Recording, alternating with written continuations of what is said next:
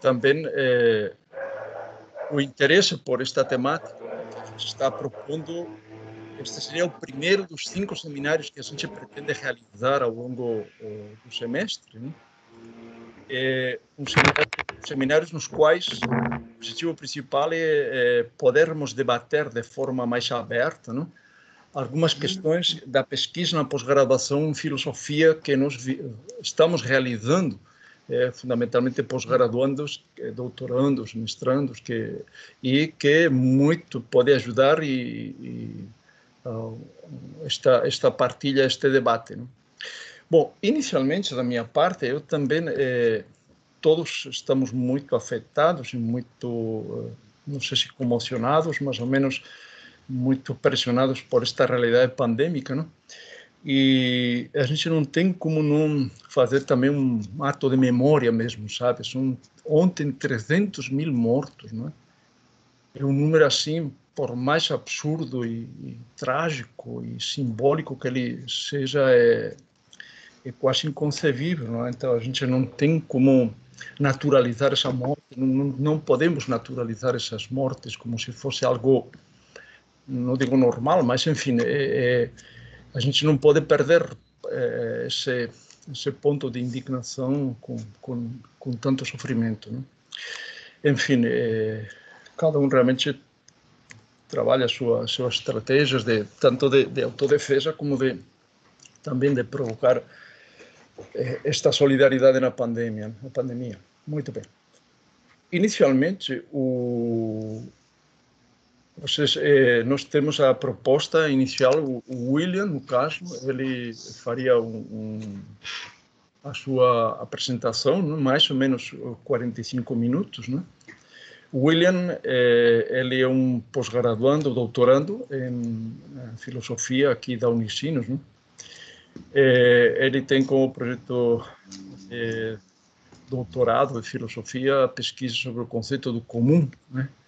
Em uma interface entre eh, eh, Agamben e eh, Roberto Espósito. Né? Hoje, ele decidiu, no caso, trazer para o debate e para a reflexão um, outro recorte, né? mas, mas especificou que também é muito importante é o conceito do político, não? A, o que resta do político, na verdade, não? a partir de duas pensadoras que que seria a, Simone, Weil e a, e a Ana Arendt, como o Roberto Espósito trabalhou numa obra. Né? Então, sem mais delongas, a proposta é que ele possa ter mais ou menos 45 minutos de exposição e depois nós teríamos eh, liberdade para, para colocar questões. Enfim, a gente quer deixar um, um tempo mais longo de debate para isso. Né? A Erika chegou também aí. Erika, tudo bem? Então, é, já estamos fazendo. A, é, está sem áudio, mas é, tudo tranquilo. Ou seja, tá. Então, o William iniciaria agora a exposição, depois faríamos o debate e, na sequência, a Erika faria a, a sua exposição, também de 45 minutos, e o debate correspondente. William, a palavra está contigo. Bom, obrigado, Castor. É, meu meus cumprimentos a todos os, os colegas, né, nesse momento que é tão difícil, né, e a gente acaba reinventando uma forma de, de nos encontrar por esse meio.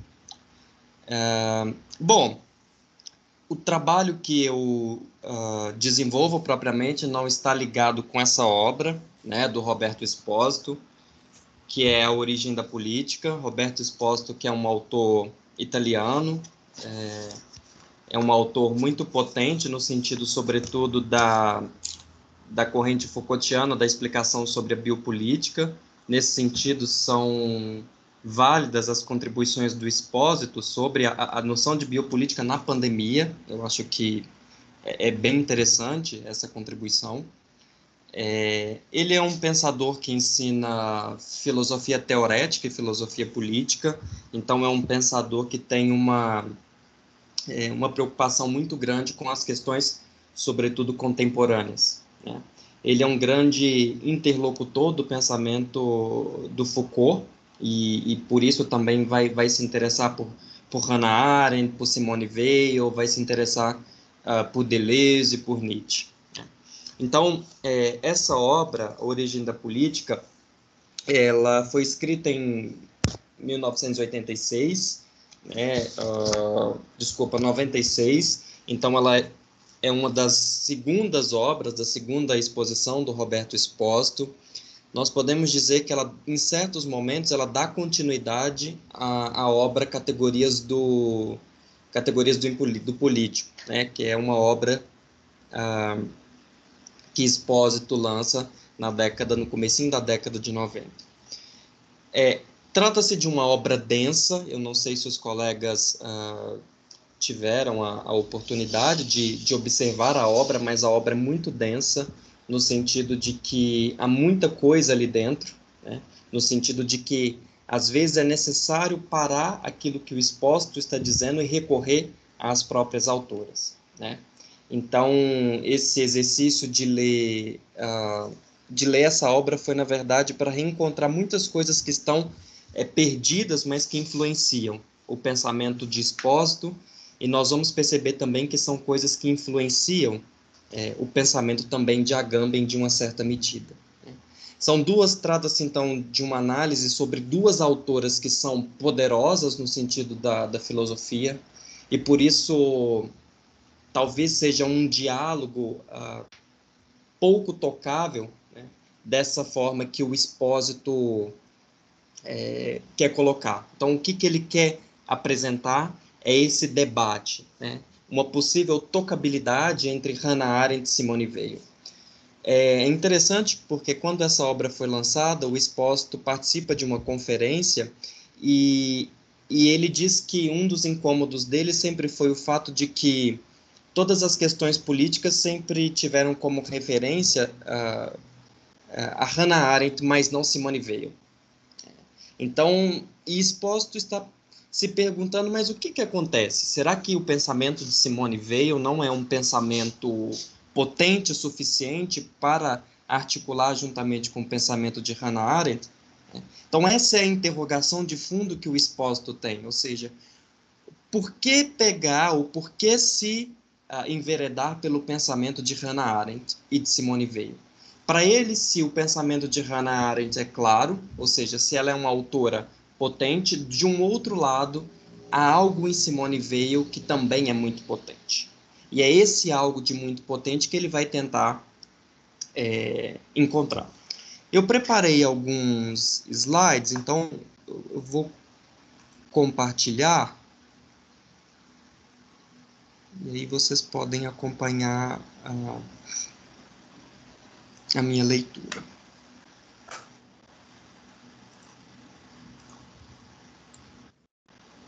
Uh, conseguem ver a... Sim, conseguimos. Ok, ok. Se puder ampliar é, um pouquinho a letra... Sim, sim, vou, vou aumentar um pouco. É...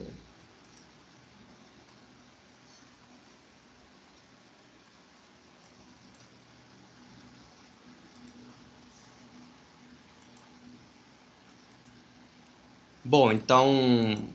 Uh, a Origem da Política é publicada em 96, anos depois de Categoria do Impolítico.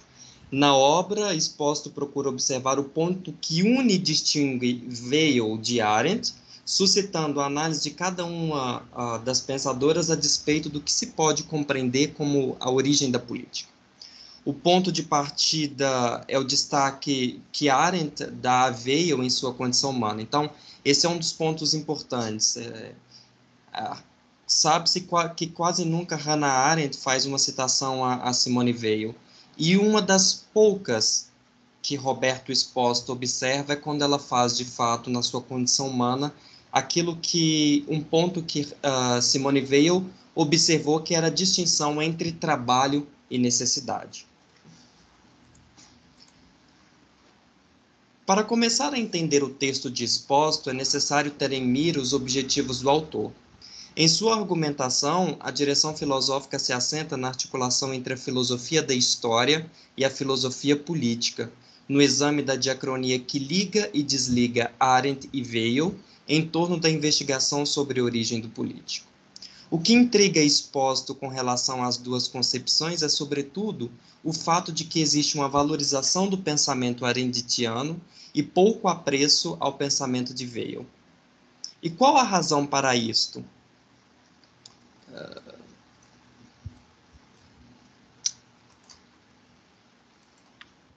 E qual a razão para isso?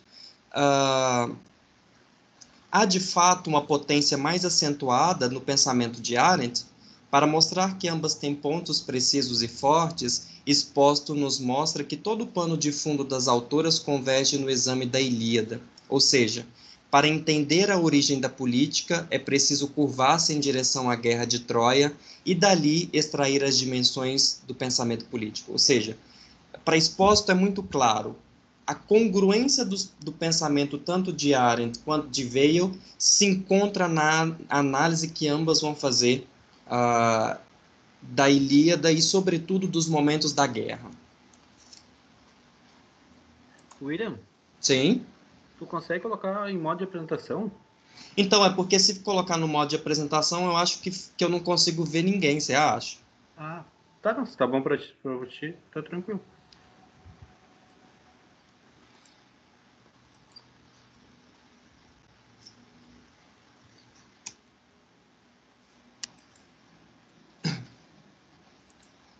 Do ponto de vista de Expósito, Arendt percebeu com clareza que o surgimento da ciência moderna provocou um entroncamento, um, um entroncamento crítico no curso contemplativo dos antigos.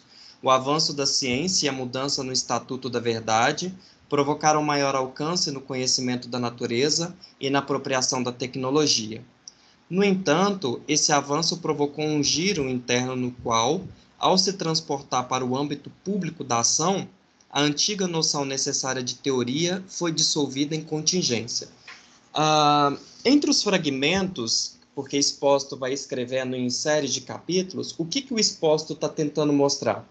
Que todo essa, esse ponto de partida da Ilíada, né, ele vai se deslocando na origem da história. Quando ele começa a sua interpretação buscando entender o conceito de verdade, ele está tentando entender o motivo pela qual o ponto de início sobre a Ilíada, ou seja, a guerra de Troia, vai ser tão importante. Qual o recurso que ele vai encontrar, primeiramente? Uma análise sobre o conceito de, da verdade. E para isso, então, ele se utiliza uh, do pensamento de Hannah Arendt para mostrar que nesse fluxo da história, Hannah Arendt descobre, ou pelo menos constata, que o avanço da ciência ela vai trazendo algumas contribuições mas há certas limitações. Por isso, uh, ela vai dizer: esse avanço provocou um giro interno no qual, ao se transportar para o âmbito público da ação, a antiga noção necessária de teoria foi dissolvida em contingência. Os efeitos disso, diz Arendt, corroboram para uma distinção.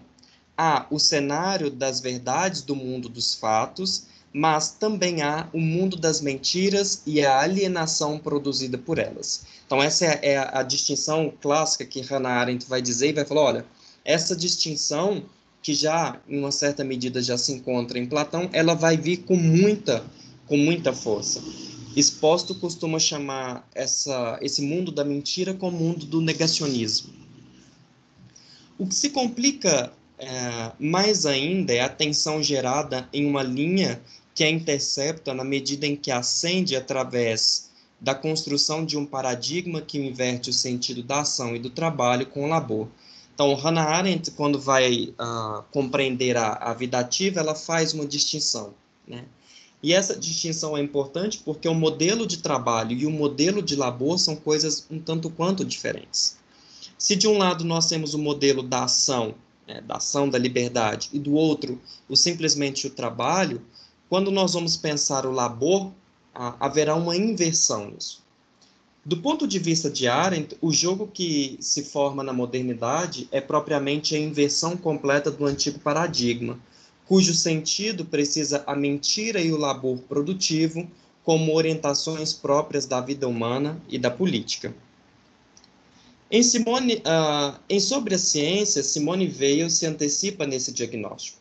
Para ela, a crise da verdade produz um declínio do pensamento uh, e da ação verdadeiros em direção ao mundo das utilidades supérfluas.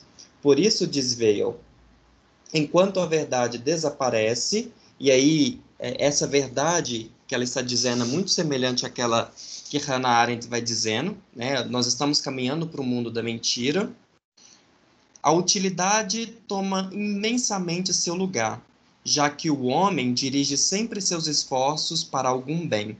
Mas a inteligência não tem, então, qualidade para definir essa utilidade, nem para julgá-lo, só tem a permissão de servi-la.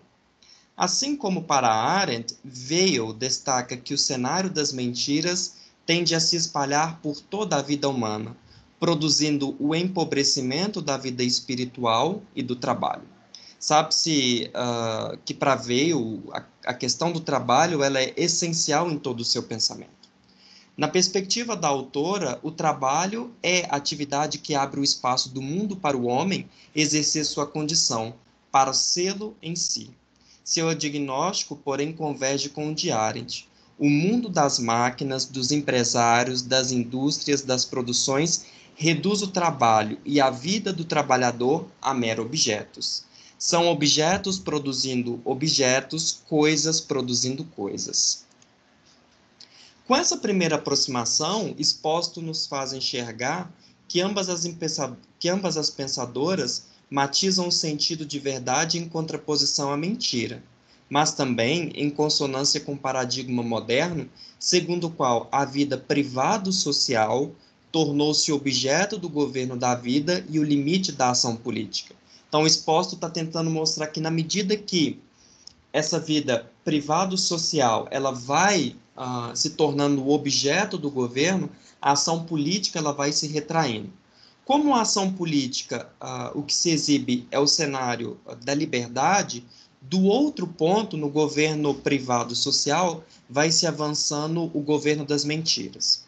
No que tange a isto, tanto Arendt quanto Weil se conecta e juntas mostram como a noção de verdade impulsionou antinomias internas ao próprio contexto.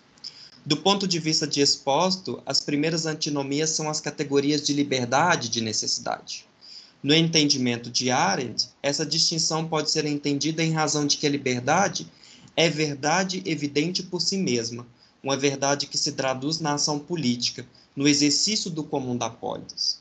A liberdade não é um fenômeno da vontade, não é um produto da esfera privado-social da vida humana e por isso não pode ser considerada como um recurso da necessidade privada do homem, dos desejos, das necessidades. Né? Então, é, está havendo uma distinção, como se na esfera pública nós tivéssemos o cenário da liberdade e, portanto, o cenário da ação, o cenário da verdade, e do outro lado, um cenário das necessidades privadas, das necessidades sociais e, portanto, também vinculada à, à vontade da mentira. Simone Weil também constatou isso em suas obras A Condição Operária e outros estudos sobre a opressão e reflexões sobre as causas da liberdade e da opressão.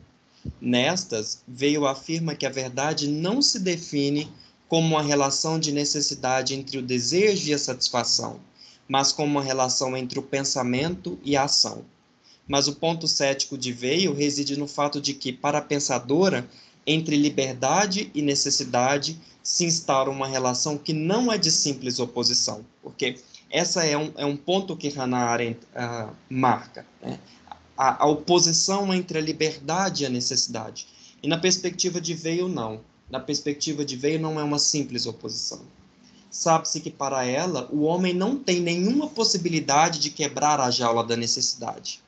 Mas, uh, para Veio, o homem livre é aquele que consegue não apenas ser servo de suas necessidades, o que veio tenta chamar a atenção que uh, o mundo das necessidades existe, mas o homem livre é aquele que consegue se afastar, ou pelo menos é aquele que não deixa que a liberdade, que a necessidade toma conta uh, de sua liberdade.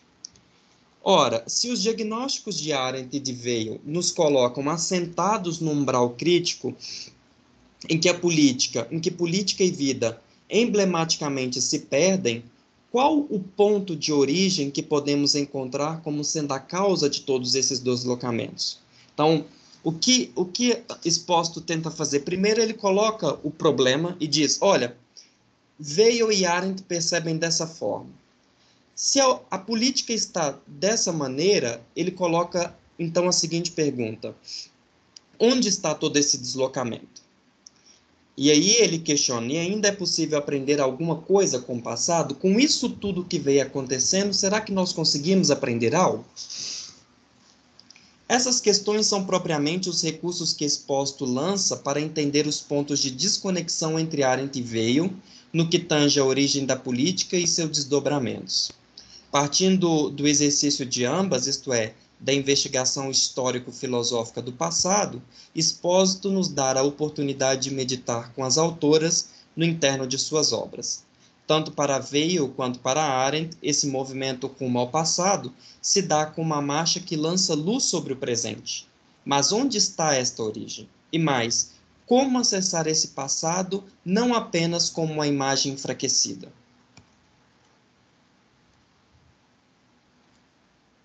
No primeiro sentido, Exposto percebe que o elo de conexão entre Arendt e Veio está na distinção agostiniana entre princípio e início. Então, antes de fazer a sua análise propriamente política, ele faz uma análise dos, lexos, dos léxicos que serão utilizados pelas autoras. Para o pensador, esta distinção propõe uma marca importante no contexto da filosofia das autoras. Isso porque se Arendt se apega mais ao início, ou seja, ao começo da vida humana, veio apenas concebe este na medida em que o relaciona com o começo do mundo, com o princípio. E aqui é muito interessante notar uh, o recurso que tanto uma quanto outra uh, fazem a Santo Agostinho, porque Hannah Arendt desenvolve um trabalho muito cedo sobre, sobre o mestre de Hipona, e Simone Veil vai descobrir também em Agostinho um ponto muito importante para repensar o neoplatonismo. Essa cesura metafísica não é tão desenvolvida por Expósito, no entanto. Então, ele não está tão preocupado em observar essa dicotomia. Seu interesse maior é mostrar que, no fundo, ele não foi superado. Dessa primeira distinção metafísica, Expósito pretende entender por que ambas se voltam ao passado com a esperança de compreender o presente. Nos textos de Arendt, a despeito da história, aquele que mais está presente é certamente Walter Benjamin, em Homens em Tempos Sombrios, Arendt concebe que o fim da história, que o fio da história não é linear, ainda que apresentado com sucessões cronológicas. Seguindo o pensamento de Benjamin, Arendt demarca que o passado é tão somente um fragmento que tem algo a ensinar o presente. Uma vez que o retorno aos antigos é essencial explicitamente a Arendt e implicitamente a Veil, é necessário olhar para o marco de conexão entre ambas. Para Expósito, de ambas as pensadoras se pode concluir que o ponto de partida da política é propriamente a Guerra de Troia, narrada por Homero na Ilíada. Em torno da poesia homérica, Arendt Weil extrai a antinomia fundacional da política, a saber, a relação entre política e guerra, entre a polis e o polemos. Então, esse é o ponto de partida que uh, Exposto está colocando. Toda aquela construção que ele vem mostrando culmina nisso. O ponto de partida é essa dicotomia.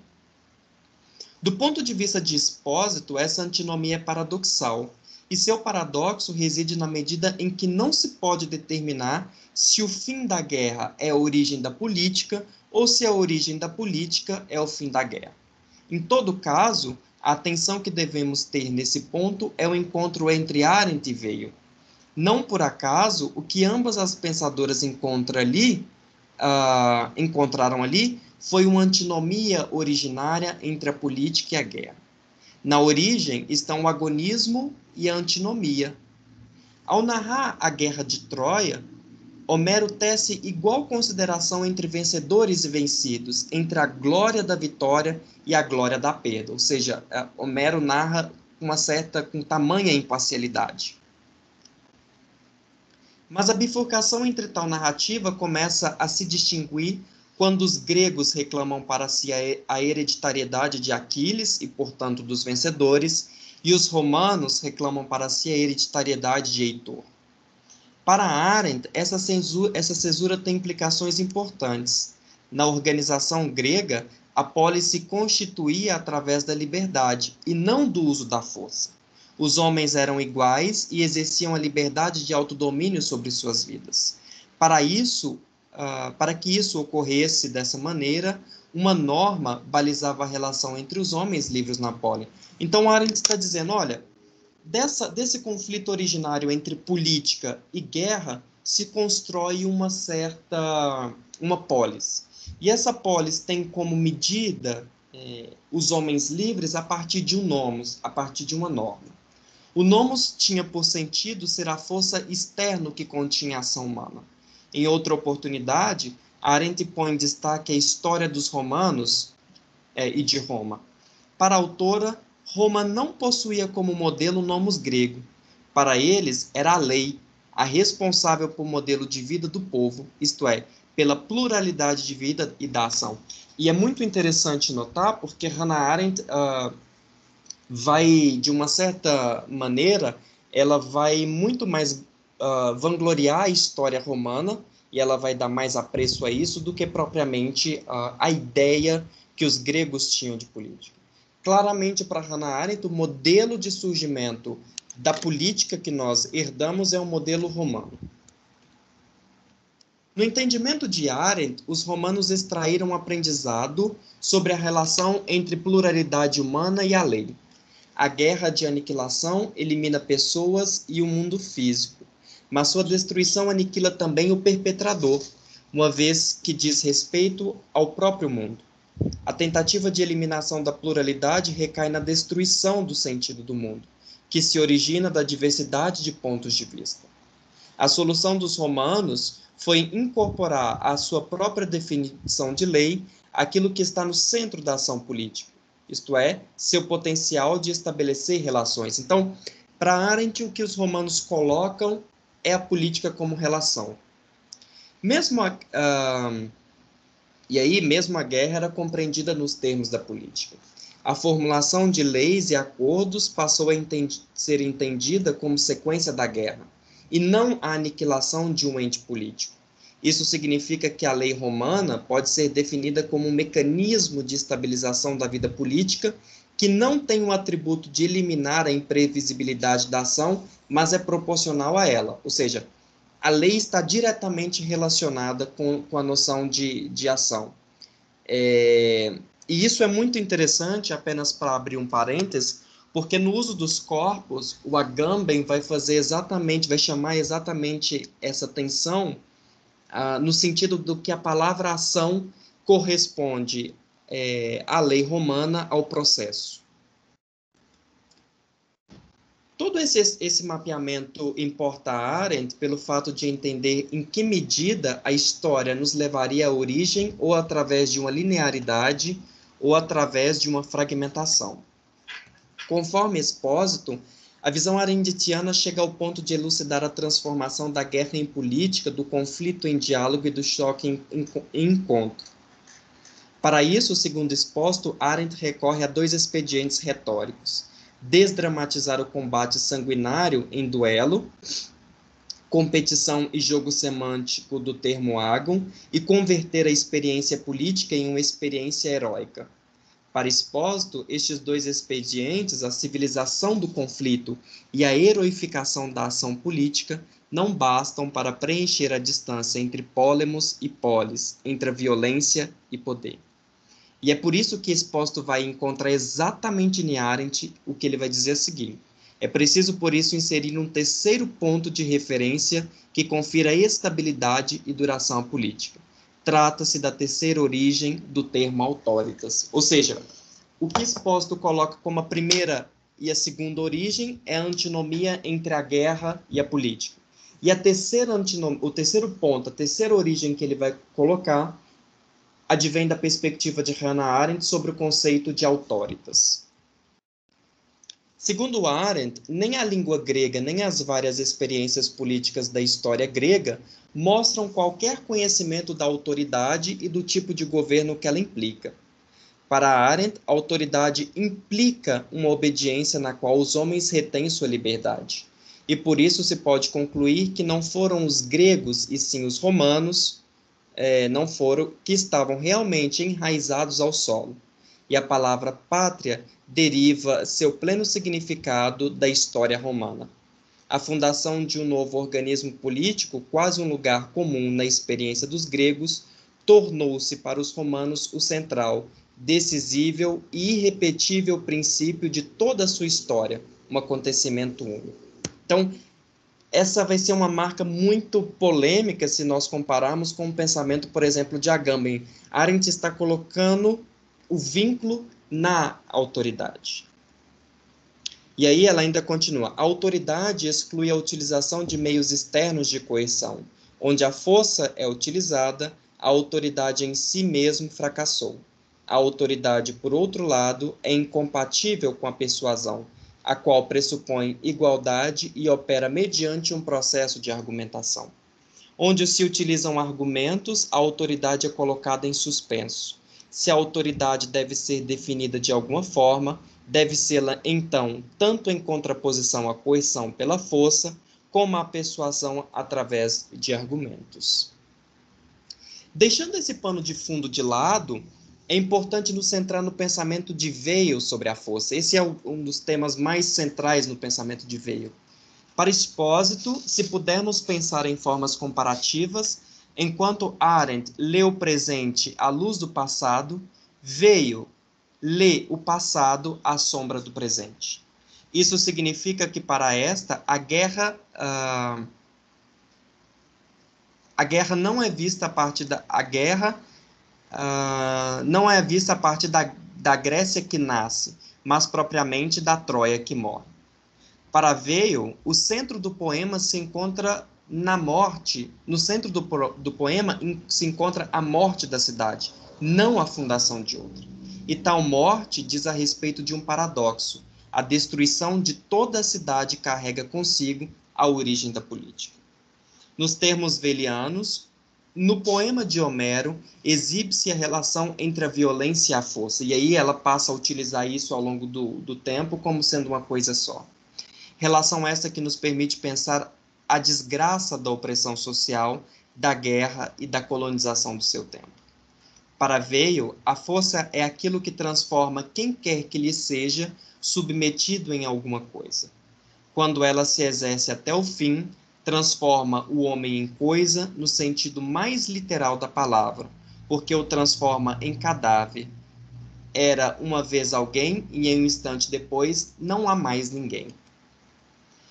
Para Veio, a força diminui o homem em sua condição. Ela retira dos sujeitos a esperança da vida através de processos de coisificação. A coisificação da vida humana reduz o homem a objetos que nessa condição passam a ser produtos e mercadorias do processo do trabalho. Na medida em que o trabalho perde o sentido de acesso ao cosmos, porque isso é uma das teses centrais, ou seja, a, a ideia de que o trabalho permite ao ser humano ser pleno em si. Uh, na medida em que o trabalho perde o sentido de acesso ao cosmos, isto é, de ação humana, suas produções tornam-se vazias e sem qualquer tipo de raiz, de enraizamento. A produção industrial acelera esse processo e converte as raízes da vida humana em trocas vazias. O perigo dessa objetificação está traçado criticamente no horizonte da vida social. Na medida em que os processos produtivos avançam, o desenraizamento da vida se desloca conjuntamente com a descristianização dos homens. Uh, na concepção de Weil, ao passar do tempo, uh, não é um processo de cristianização dos homens que vai acontecendo, mas na verdade a perda da espiritualidade. É, Veio quase nunca vai se utilizar do termo religião, então ela vai se utilizar muito mais da, do místico, né, do, da espiritualidade, como sendo um processo de é, enraizamento. E ela vai observar que ao longo dos processos, na verdade, o que acontece é uma descristianização dos homens. Sem raízes e sem espiritualidade ou místicas, os homens entram no cenário da falta de esperança. Para Veio, o grande herói Heitor se transforma em um mero cadáver arrastado, e seu pai, esmagado por tal condição, implora a Aquiles pelo, seu, pelo corpo de seu filho. Para Veio, essa condição exprime a miséria do homem. É preciso humilhar-se a uma força. A força esmaga o homem e o homem se vale da força para sair de tal condição. Por isso que na guerra uh, narrada, cantada por Homero, toda questão que passa é exatamente há uma força implicada em toda destruição, mas ao mesmo tempo há uma força que é utilizada para sair. Por isso, diz Veil, a única vitoriosa da guerra é a força. Do ponto de vista de Veil, toda a produção de força na Ilíada culminou numa dimensão sem fim de seu uso. Sobretudo na guerra e nos processos colonizadores, a força é o princípio que envolve todos os homens e os interesses. O ponto decisivo que exposto parece captar, porém, gira ao redor da hipótese de Veio. Ao colocar a noção de autoridade entremeada à lei, exposto lança o argumento de Veio contrariamente a Hannah Arendt. Na medida em que a lei é o direito e o direito é força externa à vida, também se deve concluir que a autoridade é força, força que golpeia a vida. Para Veio, a noção de direito se utiliza da força para confirmá-lo. Por isso, o direito é sempre uma parte, sempre algo partido e nunca um todo. Por ser apenas a parte, o direito é senão divisão, divisão essa que traz consigo uma força que pode ser manipulada em maior ou menor intensidade. Força e direito se direcionam sempre a uma parte da coletividade, que nunca é o todo, a pessoa. Por isso, não há como escapar do elo entre o direito pessoal e a pessoa do direito, por direito. A autoridade apenas confirma esta visão. Todo princípio de autoridade tem a marca de uma força que empurra o direito em direção a uma parte, em direção a uma pessoa que faz uso do próprio direito através de sua autoridade.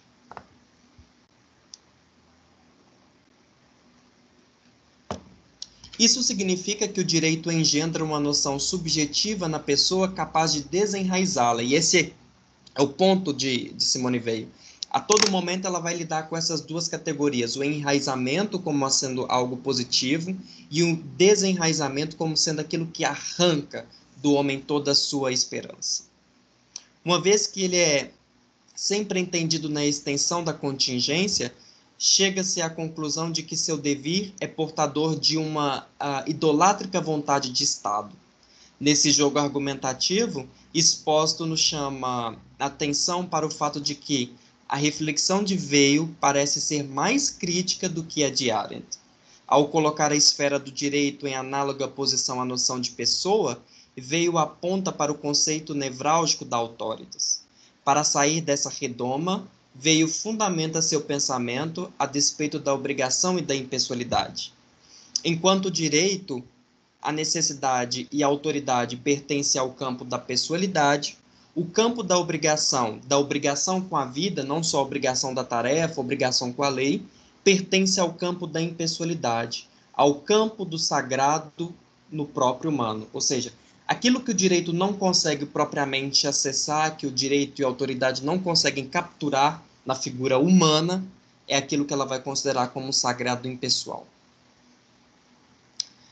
É, e aí, de uma certa forma, já para arrematar, a gente pode, a gente consegue sintetizar o texto disposto da seguinte maneira na medida em que ele vai traçando todo esse percurso, ele vai tentar entender que existe algumas origens, ou na verdade o resto desse político. E nessa relação o que ele vai perceber é que a origem da política, o ponto, o marco principal da política, ele está entremeado à noção de guerra e de política, de violência e política, de força e de política, como sendo uma tensão que sempre vai existir e essa tensão que sempre vai existir vai apontar para uh, desdobramentos no curso de toda essa história. Então, embora o texto disposto tateie por várias outras linhas, e então exposto vai pegando vários outros pontos, o sentido que encontramos nele é propriamente o apontamento da crítica à origem da política. Podemos, por isso, levantar algumas hipóteses. Bom, ao mostrar que há uma coimplicação entre política e guerra, Arendt e Weil sublinham a relação agonística e antinômica na origem. Então, ambas vão trabalhar com essa antinomia fundacional no sentido da política. E uh, a relação antinômica da origem atravessa toda a estrutura ocidental a partir dos fragmentos. São esses fragmentos que nos permitem compreender o sistema político. Se a origem da política é a poesia, o canto de Homero, e isso é, é, é, é importante perceber, quer dizer, o que está colocado ali é a poesia como sendo o fundo, como sendo o ponto de partida da política. Então há que se observar que todo o cenário perpassa pela linguagem, ou seja, trata-se do político como linguagem e da linguagem como política. O que exposto está levantando é muito semelhante ao que o próprio Agamben levanta, como sendo a questão da linguagem como sendo toda uma discussão uh, do pensamento filosófico. Né? E o que exposto está colocando é, olha, se os modelos gregos eh, e romanos se fundam propriamente dessa poesia, então nós só podemos chegar à conclusão de que o que está no fundo, a própria origem desse, desse político é a linguagem. Se polis e pólemo são duas faces de uma mesma moeda, então compreende-se que o conflito é inevitável. Mas o conflito é inevitável não por ser importante para se continuar a guerra como política ou a política como guerra, mas exatamente para fissurar toda a unidade do político. Por isso, é no impolítico, isto é, no conflito, que a verdadeira política está tensionada. Ah, Expósito, é, ele, ele ele é um pensador que gosta também muito das, das antinomias, né? Então sempre vai pensar vida e morte, biopolítica afirmativa e tanatopolítica, político em político, pessoal em pessoal. Ele vai pensar sempre nesse jogo. E quando ele pensa nesse jogo, ele está querendo mostrar exatamente que toda a tradição da política, toda a tradição da política, uh, sobretudo moderna, sobretudo a política que começa com Maquiavel, vai ser pensar a partir de uma, de uma aniquilação do conflito. Ou seja, como se o político tivesse que ser a todo momento uma unidade. Né? E na concepção de Esposo, não é que ele defenda a guerra, mas ele defende o conflito como sendo uma necessidade agonística da política. É preciso ter pontos divergentes, é preciso ter posições diferentes, não a guerra, é claro, mas é preciso ter posições diferentes para que a, a política consiga ser pensada. Isso significa que a origem da política é o conflito, o conflito como linguagem do, do político. Entre os paradoxos de cada uma das autoras, Exposto tende a, a concordar mais com Veio. Para ele, o pressuposto jurídico da lei da Lex, que Hannah Arendt vai, vai amarrar na questão da autoritas, amarra a pessoa a uma força impossível de ser dissipada. Ainda que seja impossível viver sem o direito, isso é uma, é uma realidade, não concordamos com o direito, mas sabemos que é impossível viver sem, é impossível viver sem o direito, chegamos à conclusão de que é totalmente possível viver para além dele, para além da força da autoridade. Embora exposto também discorde de Veio que essa força, além da autoridade, esteja na obrigação, isso é um ponto que ele não, não concorda, ou seja, sabe-se que Veio não concorda com o direito, mas acaba recaindo numa espécie de obrigação. É a obrigação que eu tenho para com o outro, obrigação que eu tenho para comigo. Concorda ele com o autor ao pensar que para tudo isso é necessário dissolver o personalismo metafísico da força em torno de um ethos impessoal. Bom, é, foi, foi essa, é, essa, essa imagem, é, esse panorama que, que a obra disposta nos traz. É um texto muito denso? Então a gente tem de fazer um trabalho muito arqueológico para ir retirando e cavando o que, que ele está colocando em determinadas partes. E é isso a apresentação. Muito obrigado, William. Eu acho que a tua exposição, ela, ela, ela, acredito que traz assim para nós um em princípio, várias novidades, não é? Talvez para muitos até nem ouviram falar de Expósito e, e, e, e é uma apresentação de Expósito, então isso é importante, não é? É um autor muito relevante, não é? Depois de, de os que conhecem Expósito um pouco, também esta obra, este, este diálogo entre Aren e Weil, no caso, é realmente singular, porque poucas vezes é, é trazido assim como como elemento de reflexão, de discussão, não?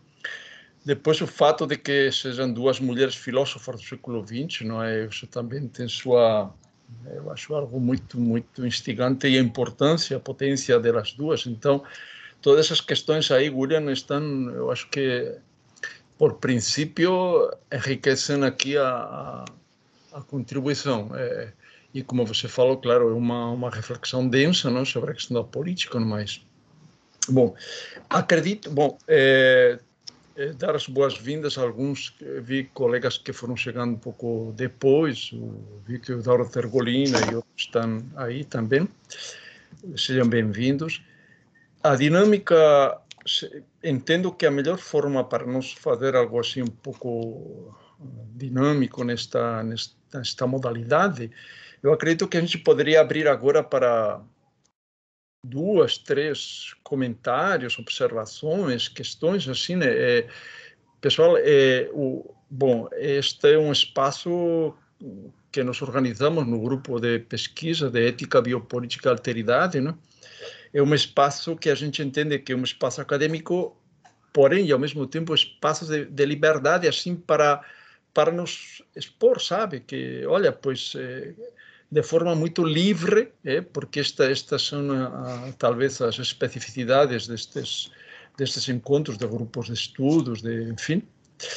Então, a gente poderia fazer assim, talvez eh, livremente, duas, três eh, pessoas que se manifestassem, depois o William aí reagiria um pouco e, e daríamos sequência assim até chegar mais ou menos eh, umas 5 e 10 por aí, onde é, 5 e 15, né, onde a gente já, é, aliás, é, desculpa, 6, 6 e 10, 6 e 15, né, a gente daria os, a, a, entrada à Érica. Então, quem quiser, por favor, fique livre. Aí a, a Márcia já levantou a mão, por favor, Márcia. E também é boa coisa, se quiserem ir levantando essa mãozinha que está aqui na, na lá em cima, eh, pedindo para falar. Por favor, Márcia. É, então, boa tarde, William, boa tarde, professor Castor, colegas. Ah, bom estar aqui nesse espaço, né? Ainda que a distância e a gente não possa trocar um abraço, né? Se enxergar pessoalmente, faz muita falta, né? Mas, é, como diz o Castor, é o momento que nos toca viver e esse é um espaço de construção, então é bom que a gente possa estar aqui, né? É, William, parabéns pela tua exposição, tu tem a felicidade de escrever com clareza e, e colocar tuas ideias com clareza, muito obrigada por compartilhar a tua pesquisa com a gente. É, muitas ideias interessantes né, surgem da tua fala, eu anotei algumas coisas e não vou me alongar na pergunta, mas gostaria de traçar assim, algumas aproximações que tu trouxeste. É, surgiu o conceito de coisificação, né? É, ligado aqui a Weil. E eu logo penso ali, quando tu falas nessa questão da coisificação, como é que a gente poderia estabelecer né, algum, alguma proximidade, talvez, com o Homo econômicos, por exemplo, da, da Arendt, né? E por outro lado, como é que tu enxergas? Tu achas que dá também para a gente fazer alguns tensionamentos é, com a questão da inoperosidade que surge em Agamben? Porque me parece, né, William, que essa crítica, ao tornar tudo operoso, ela perpassa de alguma maneira a ideia aqui dos três autores, né? É, eu, eu não tenho uh, muito conhecimento para uh, ah, trazer a partir de expósito, mas uh, me parece que o Agamben e o expósito tensionam esta questão, né, de tudo se tornar operoso nesse sentido da conversão a um uh, objetivo muito concreto, algo que uh, realmente fica coisificado a partir do conceito da VAIO, né?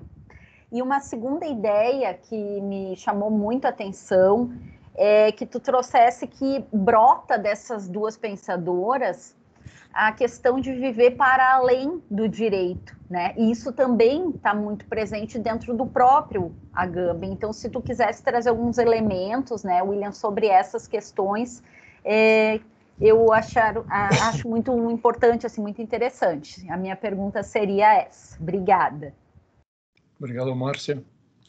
Uh, eu não sei se eu já posso responder. Ou... Eu acho, vamos, não sei se mais alguém que quer se manifestar, pessoal. É, tem, Luiz Felipe também levantou a mão. Fala, Luiz.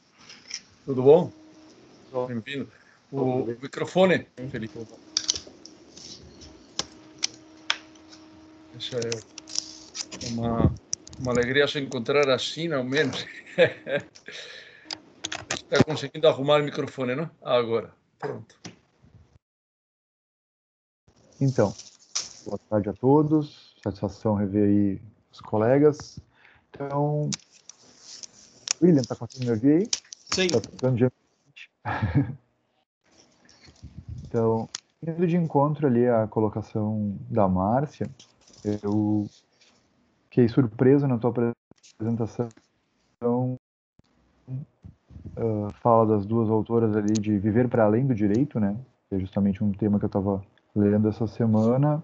E gostaria de saber se tu acha que isso é uma produção original dela, do pensamento delas, ou é uma consequência, por exemplo, da leitura do texto do Benjamin, do Crítica da Violência, e a segunda colocação, se, como tu situaria a questão do impolítico ali no expósito, e eu não entendi muito bem como o impolítico se relaciona com as duas autoras, até porque é um conceito assim meio difuso para mim que eu estou tentando entender melhor. Então, se tu puder fazer uma alguma colocação sobre esse tema, talvez ajude a me esclarecer o que, que ele quer, que esses autores querem dizer com impolítico.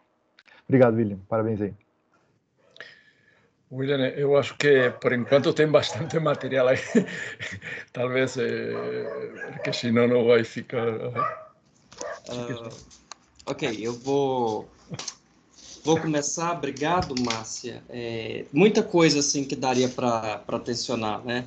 É, a primeira coisa quando você coloca da coisificação, né? Lógico que é, Simone Weil tá, tá vivendo ela foi para a fábrica para que para ter essa experiência, né? E ela era uma revolucionária. Ela morre fazendo greve de fome, né? De tuberculose, lógico que ela estava com primeiro ela teve uma pneumonia, depois uma tuberculose, foi internada, né? E acaba morrendo por greve de fome, para que enviasse a comida dela aos manifestantes franceses. Então ela está vivendo isso e ela acredita que o trabalho é a abertura é, ao universo. Isso é muito interessante porque a filosofia, nós vamos aprendendo isso, que toda forma de, de talvez expressão mística religiosa como sendo uma visão um pouco negativa. Né? Nós temos talvez sempre essa ideia de que não, religião não é, não é tão positiva. E o que veio está pensando, é, lógico por causa das influências místicas indianas, né, dos hindus, é, ela está pensando que o misticismo, e aí é interessante, porque o misticismo veiliano é uma forma de modo de vida. É a concepção que, que veio, né, ela não cria, ela não utiliza, ela vai falar modos místicos, é como ela se utiliza, né? Modo de vida e forma de vida, não, mas modos místicos como sendo uma abertura para essa dessa coisificação. É, e nisso, é, ela se aproxima muito da ideia do, do, do Homo econômicos. É, ela vê exatamente isso. É, e aí ela vai se utilizar exatamente do mundo utilitário, falando que todas as coisas é um utilitarismo, a esfera da necessidade tomando conta da vida humana, é, é, a esfera do, do, dos desejos e tudo mais. É, então, ela vê, quando você me pergunta, fala, oh, dá para fazer uma relação? Sim, é, existe isso, sobretudo com relação aos modos místicos. Né? a forma que ela vai pensar coisificação e homoeconômicos muito semelhantes. Com relação à inoperosidade, é muito interessante é, porque em Simone Veil encontramos o termo potência passiva. Né? Sabe-se que potência é um termo importante para o Agamben. É, o termo potência é muito importante. Então, nos cadernos, a Simone Veil vai encontrar que, olha, há uma esperança na potência passiva do homem. Essa esperança na potência passiva do homem, ela vai ser encontrada exatamente quando se fratura o elo do direito. Ou seja, quando o impolítico, quando aquele que não é capturado pelo na esfera uh, do direito pode sair. Ou seja, pensando em outros termos, quando o modo místico for possível. É, veio, e aí, Márcia, é interessante porque veio, ela detesta Nietzsche. Ela vai falar: olha, parem de ler Nietzsche, isso aí é um problema, esse negócio de vontade de vontade de isso aí é uma loucura, vá ler Spinoza. Ela chega a dizer isso, vá ler Spinoza, é melhor ler Spinoza porque o mundo é mais místico. Né? Mas é interessante que, por mais que ela vivesse numa, numa forma muito conturbada, ela vai chegar em determinado momento e vai dizer o seguinte: olha, é possível. É lógico que ela não vai utilizar a noção de resistência, tá? mas é possível uh, pensar uma saída a partir do próprio enraizamento. Mas que enraizamento? O enraizamento que ela vai encontrar exatamente na saída dessa forma de reprodução uh, que ela está enxergando. Né? Simone Veil tem umas ideias muito mirabolantes, por exemplo, é, ajudar os militantes poloneses chegando por meio de paraquedas. É, nos diários ela vai contar isso, ela vai contar que ela não existia a única coisa que não poderia acontecer, é, a gente não se comover com a fome e perder a esperança. Eram as duas coisas. E tudo isso passava para ela pela questão da potência passiva. Né? E aí, quando a gente começa a pensar com a Gamben, quer dizer, o que, que é a inoperosidade se não aquela condição da própria potência que não se esgota na atualização do ato? Então, acho que isso é muito importante. É, e com relação ao Luiz, eu acho assim que, lógico, Hannah Arendt uh, não só Walter Benjamin, né, é a influência de Walter Benjamin, mas também a influência de Nietzsche uh, ali e a influência do próprio Heidegger. Né. As concepções, isso exposto também vai chamar atenção, essas concepções da, da história, né, a concepção do fragmento uh, da história. Em Simone Weil é o anarquismo. É o anarquismo latente uh, que está passando pela ideia dela. Né? Então, a influência da história uh, na concepção é, da Hannah Arendt é propriamente aquela ideia que a gente vai perceber no, no Benjamin. Né? Todo aquele progresso científico causa uma destruição, é a catástrofe. Né? E aí, por isso que Hannah Arendt vai sempre relembrar o quadro do Paul Klee, né? aquele, o anjo lá, o anjo da história. Então, para ela é isso. Para Simone Veil, não. Simone Veil é a tensão do anarquismo exatamente como está acontecendo. Em relação à questão do, do impolítico, esse é um tema uh, que ainda vem sendo tensionado. Né? É, por um lado, Simone Veil vai descobri-lo com quando ela se abriga em um convento em Portugal. É, é onde ela diz que, que vai encontrar pela, pela primeira vez Cristo. E essa noção de política ela vai entender o seguinte, que no meio de toda catástrofe, no meio de toda política, é possível pensar uma tensão ali interna. Ou seja, é possível pensar a resistência, e não nesses termos, mas é possível pensar dentro da própria política uma forma ah, de lutar contra todo o sistema. Essa, essa é a forma que ela, se, que ela se utiliza. Qual que é o problema disso?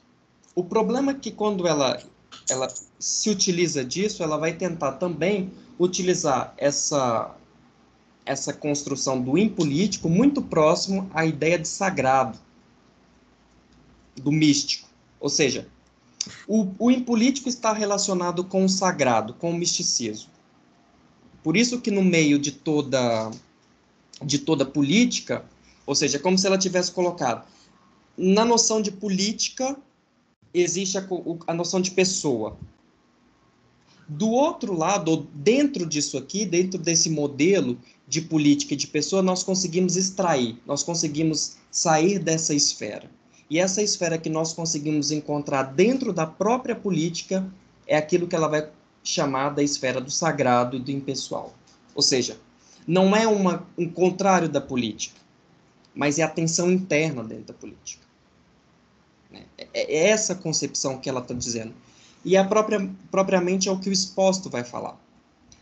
A política não. Porque. E aí a gente já tem uma variação, né? Hannah Arendt não trabalha com, com a questão da, da, da, da impolítica. É, mas a questão que uh, exposto vai pensar, ele vai se utilizar, utilizar disso. Lógico que ele vai deixar a questão do místico de lado, né? embora ele se comova muito, que ele vai falar, olha, Simone Veil e George Bataille dariam um casal perfeito, porque ambos são místicos, ambos pensam de uma forma muito, muito diferente, né? uma forma diferente dos outros. Mas a forma que o exposto vai pensar em política é exatamente o seguinte, a noção de política que nós compreendemos, ela é sempre pensada como uma tentativa de uh, aniquilar a oposição. O que, que Exposto vai tentar fazer? Ele vai tentar entender um modelo que o conflito está dentro. Ou seja, é preciso pensar dentro da própria política uma possibilidade não de aniquilar o conflito, mas de viver com o conflito. Ou seja, aquilo que ele vai falar, a questão da morte do direito está colocado. Não dá para negar que existe morte, não dá para negar que existe direito. A questão é como viver com essa tensão. Como viver com isso?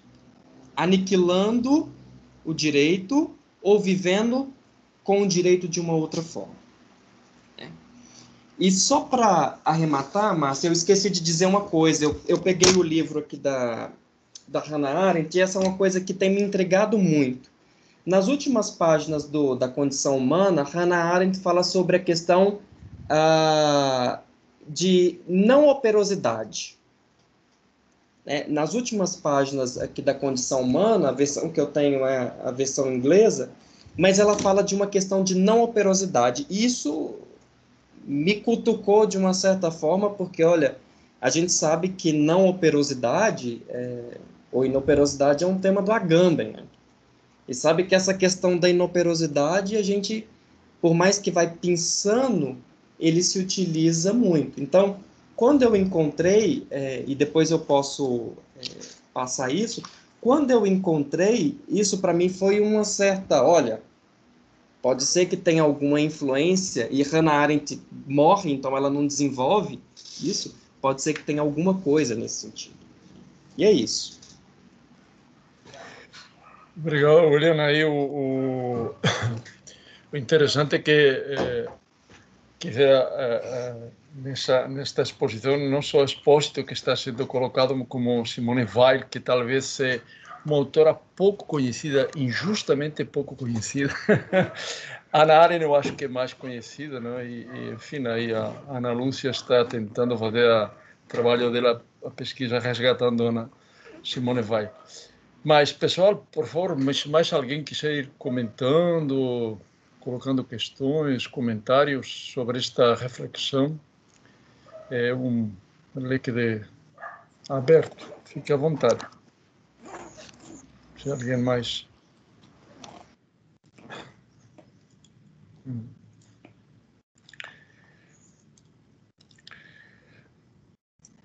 William, se enquanto alguém também eh, talvez se anima a colocar uma, uma questão que me parece que na tua exposição não ficou bem é a questão da origem da política. Não é? Você des, um pouco desenhou bem a, a, um pouco como o expósito é, propõe a, diferença entre é, Aren e, e Weil em relação à política, mas afinal é uma questão que surge aí é, é a política, no caso, é, é, isto que eu gostaria que, que tu agora comentasses, né?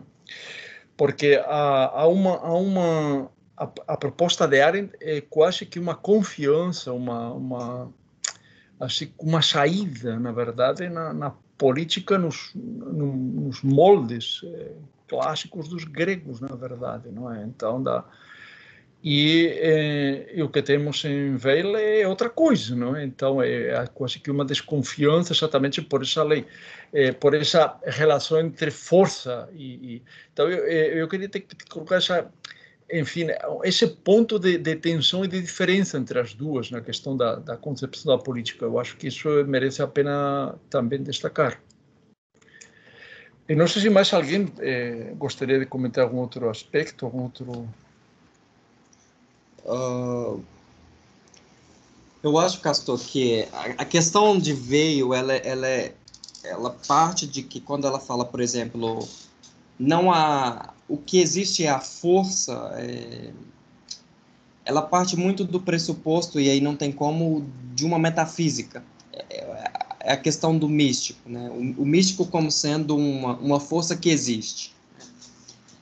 É, a questão do, da diferença entre ambas é que, olha, Simone Weil está incomodada com essa força que existe. E ela se incomoda com esses termos que estão muito relacionados com toda a esfera que compromete essa, esse acesso do homem é, às questões do místico. E aí, o místico em, em Simone Weil é muito amplo, porque ela está pensando desde a questão da alma, por isso que ela é uma pega Platão e suga Platão, assim como ela vai fazer com Cristina de Pisa, né? São as duas referências que a Simone Weil tem, Cristina de Pisa, Platão e os hindus, né? E ela vai pensar formas ação, né? ação a partir disso, né? sem recair na esfera da pessoalidade, do personalismo, sem cair na esfera do direito. Né? A questão é que Hannah Arendt é, para que ela pense nos modelos, sobretudo dos romanos, ela vai ter que ela vai ter que cair numa esfera quer queira quer não, numa numa esfera jurídica. Quando ela pensa na ideia de autoridade ou na esfera de lei, é lógico que ela não está pensando esse modelo que nós temos hoje, é o modelo que ela está lendo. Mas ela acaba caindo nesse pressuposto. E, e, isso eu acho que é muito válido, a crítica que o próprio Agamben vai chamar atenção. Olha, Hannah Arendt acabou caindo na armadilha que ela própria criticou.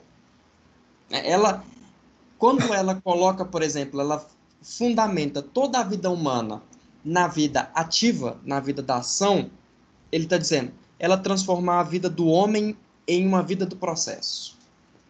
Isso eu acho que faz sentido, né? É, dentro dessa concepção, quando nós pegamos as etimologias e vamos é, é, trabalhando com isso. Então, eu acho que há uma diferença, né?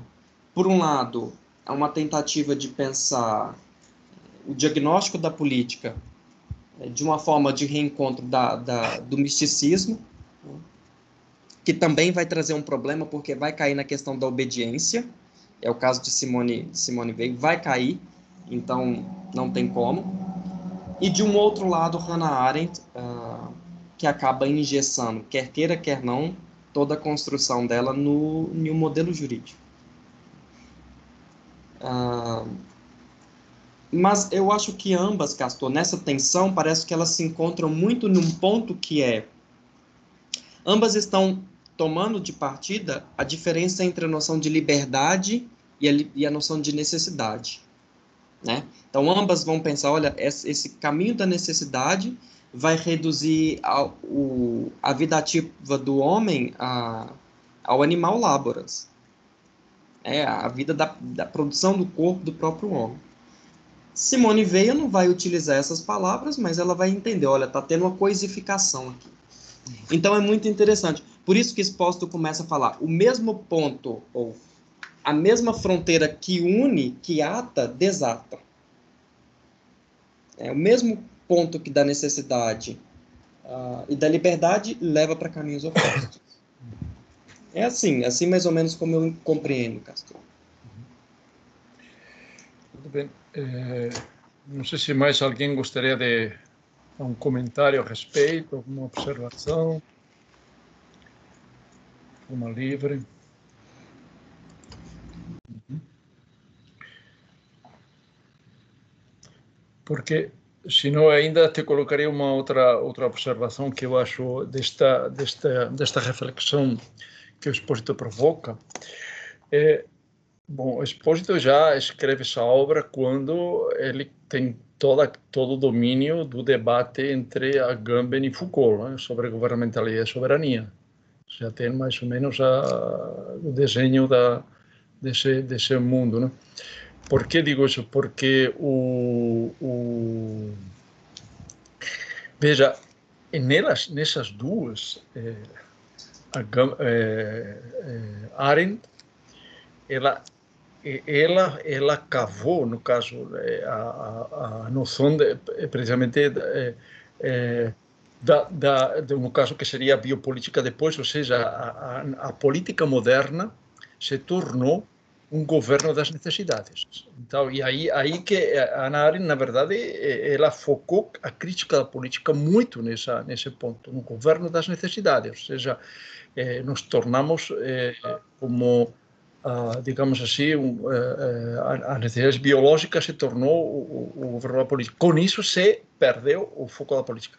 Por outro lado, eh, o que que Simone Weil tem? Tem a desconfiança radical de, de, de tanto do direito como da força. Então, o que, que temos aí? Temos os dois modelos, na verdade.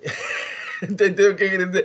Então, é, chama muita atenção que é, a Simone Weil ela, ela, é muito benjaminiana, mesmo que ela não, não, não, se, não se identifique, é, não, não tenha essa referência a Benjamin, mas ela é na percepção que tem da, da, da política assim como, como força, sabe, que se impõe, e por isso tem que cavar uma, uma saída diferente.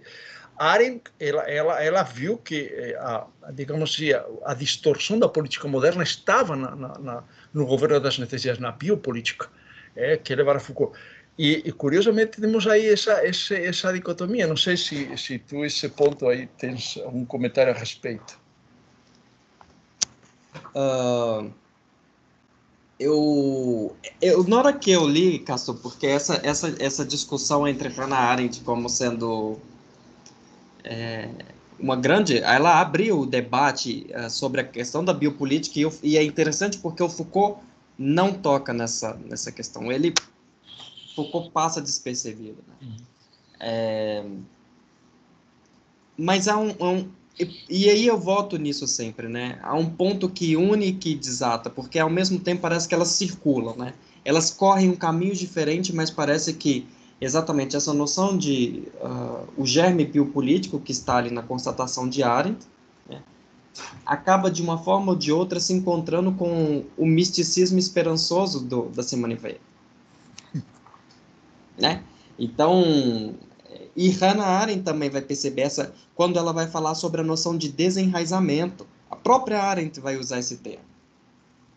Como ela vai falar, olha, alguma coisa está acontecendo que já não tem mais raiz.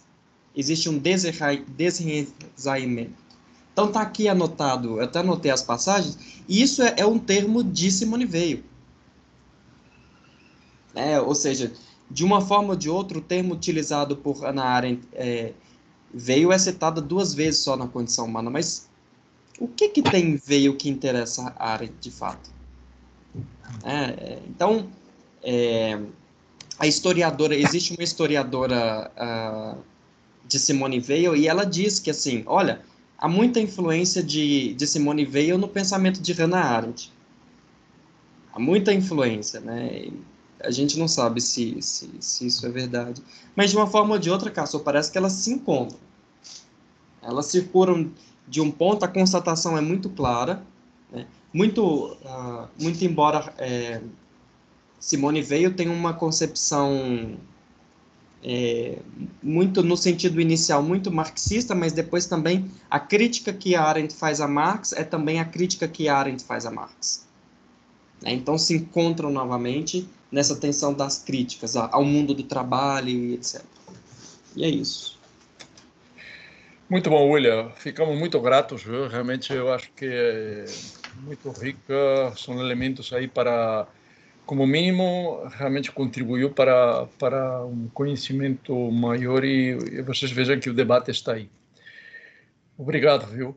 Na sequência, então, eh, a Érica vai fazer a sua exposição e a Márcia que vai coordenar. Então, eu pediria para a Márcia tomar a palavra, dar as boas-vindas à Érica aí, com alegria vê-la aí. Prazer, viu, Érica? Então, Márcia, por favor. Certo. Então, primeiramente, Érica, seja bem-vinda. Saudade de ti também, de te enxergar, as nossas conversas e tudo, né? Pois bem, colegas, vou apresentar então um pouco a respeito da trajetória da Érica, nossa colega e amiga Érica Gomes Peixoto. Ela vem da Universidade Estadual do Ceará, onde ela fez a sua graduação, fez seu mestrado em filosofia e depois veio para Unicinos fazer o seu doutorado sob orientação do professor Castor e a Érica também fez doutorado é, sanduíche na Universidade degli Studi di Padova, na Itália, com o professor Sandro Quignola. É, esteve lá por seis meses, correto, Érica? No ano de 2019, se não estou enganada, é isso mesmo? É, né? Então, a Érica pesquisa é, a, o conceito de guerra civil, né, como paradigma biopolítico de poder. É, o doutorado da Érica está em andamento, né, está realizando a sua pesquisa, fazendo os, uh, está alinhavando aí a, a, sua reta final desse período de doutorado. Então, também uhum. desejando as boas, a boa sorte para a Érica, né, com, com esse fechamento da pesquisa é, eu passo a palavra para ela, então, para hoje falar aqui no nosso grupo sobre a guerra civil como paradigma biopolítico de governo, conexões com o pensamento de Giorgio Agamben. Érica, fica à vontade, então, nós pensamos 45 minutos de exposição e depois, então, um debate, assim, no mesmo modelo como fizemos com o William nesse instante, tá bem? Obrigada, bem-vinda. Obrigada, Márcia. Que massa, adorei a apresentação, muito legal. É, agora a gente não se atrasa mais de carro para chegar nos ambientes, né? Mas a tecnologia nos atrasa, porque a gente fica, conecta um carro, não dá certo, conecta outro. Então, eu queria pedir primeiro desculpa pelo meu atraso e agradecer ao professor Castor, que, enfim, tem me ajudado muito nessa pesquisa, e também a Márcia pela, pela oportunidade. Estou sabendo que o Tergolina está aí, então queria saudar também um colega que me inspira muito. E dar parabéns para o William, né? Não é só formalidade, William, sua apresentação foi muito boa. Eu não contribuí por falta realmente de argumentos, mas me interessei muito sobre a temática, especialmente porque trata da, de uma questão que se tornou praticamente uma obsessão na minha vida, que é a guerra civil.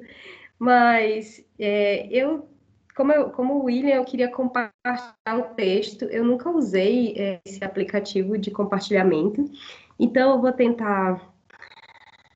Talvez. Será que deu certo? Por enquanto, ainda não, não abriu aqui. Abriu. Abriu? Ah, Para mim, abriu. Então, uhum. então, esse é o texto que eu preparei para hoje.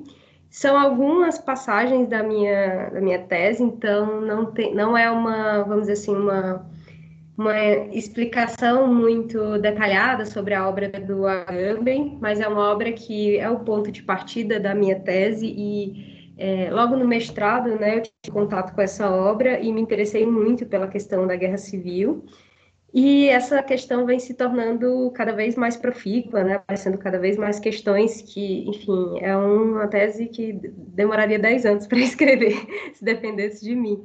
Mas tem os prazos, né? E a gente tem que fazer juiz.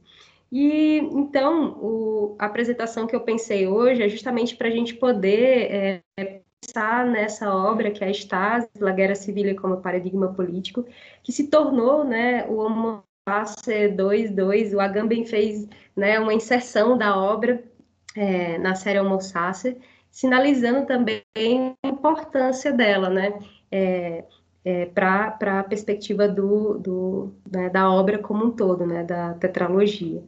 Nesse, nessa obra em especial, eu vou me ater a dois, duas, duas partes, nas né, duas partes da obra, porque o Agamben ele inseriu, depois de um tempo, quando ele fez o relançamento, fez um relançamento da edição completa do Homo Sacer, fez uma inserção de uma terceira parte, que eu também já li, mas ficaria muito extensa, e tem muitas questões já colocadas né, especialmente quando você lê um texto várias vezes, é como se fosse, cada vez você encontra outra coisa, nossa, mas aqui também tem isso, então você vai sempre encontrando coisinhas aqui e ali que você gostaria de falar, enfim, é sempre difícil cortar alguma coisa. Mas eu vou me ater a essas duas partes. A primeira, né, sobre a Grécia, que ele fala sobre a Grécia clássica, né, através dos textos da, da Nicole Leroux, e em seguida eu vou fazer né, aquele percurso que ele faz, mas com, a, com as análises sobre a questão da guerra civil nas, na imagem né, do Leviatã de 1651. Ambos os conceitos né, da estasis grega e da guerra civil moderna são marcados por uma secreta solidariedade, enquanto a estasis grega né, ela assumia a forma da inclusão como uma fórmula consubstancial à polis, na modernidade, a partir da teoria contratualista, a guerra civil é justamente o que deve ser suprimido, excluído, mas acaba por permanecer subjacente como um princípio da própria fundação do Estado moderno. Então, eu vou começar falando sobre os gregos e as estases e a guerra como limiar de indiscernibilidade, e depois vou passar para a ideia da estase ao caterron, a guerra civil no âmago do Estado moderno, né? é, de forma bem resumida, porque essas questões são muito, como eu falei, né, muito extensas. Mas eu gostaria de falar sobre, essa, sobre esse termo, estasis, né? Ele tem essa, essa origem, né, que denomina uma ação, ela tem, mas, mas ao mesmo tempo significa estar parado, manter-se, né?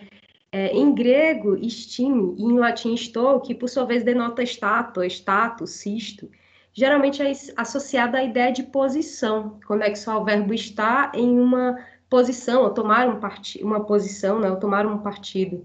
Erguer-se isso, erguer-se erguer de algum lugar e para o partido. Na obra Odisseia, o termo é usado é, chamar e se refere ao ato de se colocar parado como ação que precede o movimento. O estasismo seria o ponto da tragédia, o qual coloca-se em pé e fala como ação que precede o movimento. E geralmente associada a essa ideia de posição, ato de se pôr. Então, é, a gente pode concluir que a estasis, né, ela expressa essa dualidade, marcada de um lado pela imobilidade e de outro pelo movimento. Esse conflito interno, ele localiza-se entre o repouso e o movimento, sendo assim, guarda consigo uma confluência de opostos que pode ser marcada pela diluição e pela reconciliação das partes. Dessa forma, vale a pena enfatizar as atribuições da, sobre a estasis da historiadora Nicole Leroux, de forma especial na conferência La Guerre de la Famille, é, desculpe meu francês, cuja a tese central, amplamente aceita pelos historiadores clássicos, põe em discussão a divisão corrente entre a Oikos e a Polis, como na base do pensamento clássico. Chama atenção da historiadora francesa a relação que Platão estabelece no diálogo menexeno de uma oikeios polemos, a combinação de duas palavras que parecem excluir-se mutuamente no pensamento grego. A aproximação entre guerra, que é geralmente denominada polemos, né, como William colocou aí, achei muito interessante, com a palavra grega oikia, significado de casa, família, enunciando uma frase que seria para um ouvido grego um verdadeiro paradoxismo. Aí é, encontra uma divisão né, entre é, guerra como estases e guerra como polemos, né? Então a gente já vai para outro para outro âmbito do, do, da questão da guerra. E a guerra como estases ela seria uma guerra entre compatriotas, como a gente vai ver.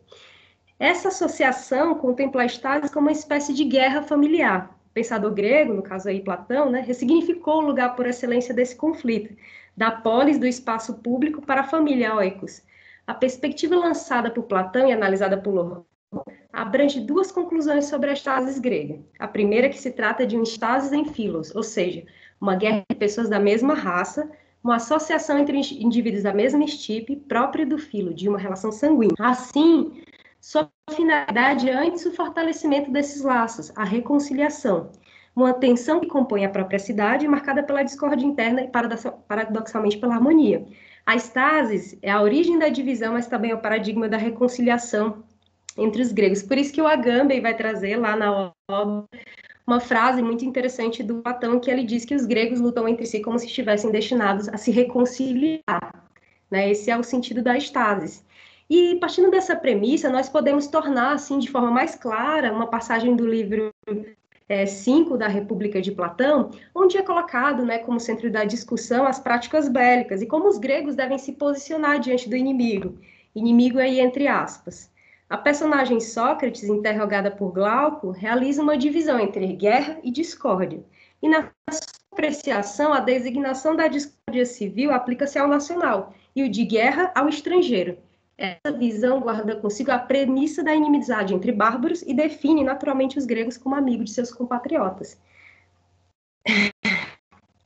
Porém, enquanto Lohó identifica mais de uma vez uma relação entre a Estasis e a família, a hipótese de Agamben assinala a guerra de forma indiscernível, onde não é possível precisar amigo e inimigo dentro e fora, a casa e a cidade.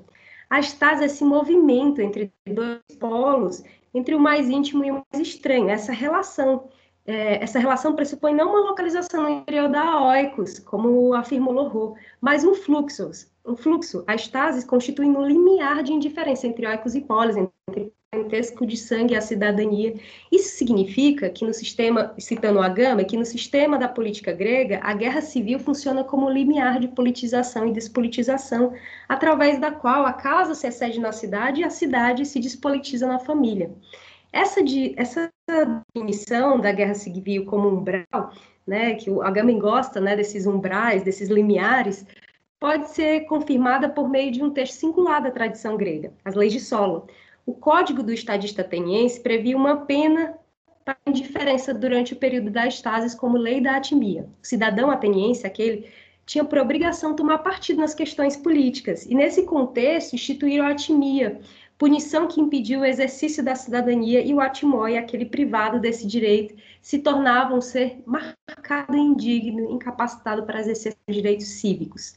O cerne da punição era a expulsão da vida da polis, isso significava uma vida restrita ao âmbito da oikos, a redução à vida em política, à vida privada. A estasis funciona como um reagente que revela o elemento político do caso extremo como um limiar de politização que per se, que determina per se o caráter político ou impolítico de um certo ser. O historiador alemão Christian Mayer, não sei como pronuncia, mas eu acredito que seja próximo disso, mostrou como na Grécia do século V, os atenienses construíram uma mudança constitucional caracterizada por uma verdadeira politização da cidadania. O advento democrático construiu uma nova identidade política baseada nos direitos e deveres do cidadão. A construção, desse, a constituição desses pilares criou uma separação entre a esfera do, doméstica e a pública, e por, que, por conseguinte, a exclusão da vida privada, colocando esta como subalterna à vida política. Nesse sentido, a polis tornou-se um âmbito de cidadãos claramente distinto da casa e a política uma esfera distinta do reino da necessidade, né? Igual aquela divisão, né, que o Agamben encontra lá no início do Homo Sacerum, que ele fala, né, sobre a divisão né, entre, entre a, a vida política, né, e a simples vida natural. Esse processo de politização da cidadania, da cidadania grega teve uma influência decisiva sobre a cultura política do Ocidente. Mas se entre os gregos esse campo de, de tensão, de divisão entre oicos e polis, politização e despolitização encontrou algum equilíbrio, na modernidade ocorre uma tendência a despolitizar a cidade, realizando a prevalência da casa sobre a cidade, deslocando, deslocando fundamentalmente a forma da guerra civil em nosso tempo a política, a cidade sofreu um decisivo processo de despolitização, transformando-se em relações regidas por laços biológicos, operações meramente econômicas, que se alternará por vezes em fases simetricamente opostas, na quais todo, na quais todo o impolítico deve ser mobilizado e politizado. A estasis é algo que sobrevive, que sobreviveu, colocando a, a possibilidade sempre presente do conflito e da dissolução. O papel da estase é justamente fazer o trânsito desses dois polos, o qual entre os gregos é marcado inscrição doméstica, politizando a cidadania, inversamente a cidadania se despolitiza em solidariedade familiar. Essa definição, segundo Maillard, pode guardar uma íntima relação com a definição schmittiana do político, baseada na associação e dissociação entre amigos e inimigos. De forma análoga, se retornarmos ao livro 5, né, da lá da República, onde Platão faz a divisão entre amigos e estrangeiros, podemos ver duas, é, que quando ele faz essa, essa coesão né, da comunidade política interna, criando a ideia de nós e eles, essa oposição, ele cria né, um verdadeiro dispositivo, o da amistocracia. Essa divisão cria uma identidade do comum e do fora, operando uma captura, uma forma de violência sacrificial, assinalando assinalada por essa divisão, especialmente nesse livro onde Platão realiza essa divisão que coloca, né, o corpo amigo e o corpo estranho estrangeiro. Como eu vou, como eu vou guerrear contra o meu amigo, como eu vou guerrear com o estranho estrangeiro, né? Essa direção, a partir da, de uma conexão entre a perspectiva biopolítica de Foucault e do paradigma teológico ou econômico de Agamben, devemos repensar o poder como espaço absoluto de gestão econômica global, uma tendência em despolitizar a cidade, transformando num espaço, numa casa associada à gestão eficaz, à administração da casa, uma oeconomia. Uma metáfora política da casa, como uma forma de comunidade política, encontra na modernidade a ideia de casa-Europa, se, por um lado, existia entre os gregos uma preocupação com o apagamento de uma vida política baseada na participação nas, nas leis da cidade, na modernidade, em nível global, vemos uma redução da política a relações meramente econômicas. O diagnóstico de Foucault da política moderna demarcou, por meio de sua análise biopolítica, o processo corrente de politização da vida, a sua inserção como parte das estratégias de poder, então, a Estado não pode mais funcionar como limiar de, de politização, à medida em que essas, essas concepções entram em tenaz conflito na modernidade, mas se torna um paradigma político, manifesto em cada conflito na forma de um terrorismo planetário. Por isso, Agamben vai afirmar: o terrorismo é a guerra civil que investe, uma a uma, esta ou aquela zona de espaço planetário. Não é por acaso que tenha coincidido com o momento em que a vida como tal, a nação, ou seja, o nascimento, se torna o princípio do, o princípio do soberano. A única forma em que a vida como tal pode ser politizada é a incondicionada posição à morte, ou seja, como vida nua. Na Grécia Antiga, a estase é o paradigma da inclusão e exclusão, o qual encontra lugar na modernidade na teoria robesiana em relação ao poder soberano.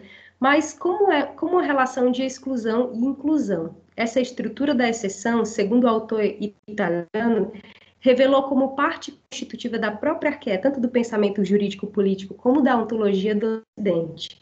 Nessa fórmula, emerge de forma recorrente algo que é dividido e, por outro lado, deve ser excluído e rejeitado, para precisamente por essa exclusão ser incluída. A diferença entre os conceitos permite compreender com ainda mais força a afirmação de Camus que sinaliza a consumação dessa guerra civil por meio da própria impoliticidade, cujo sintagma é a vida nua, o homem político. Esse processo de mudança no campo da beligerância é acompanhado por um profundo esgotamento das categorias fundamentais que constituem a política ocidental.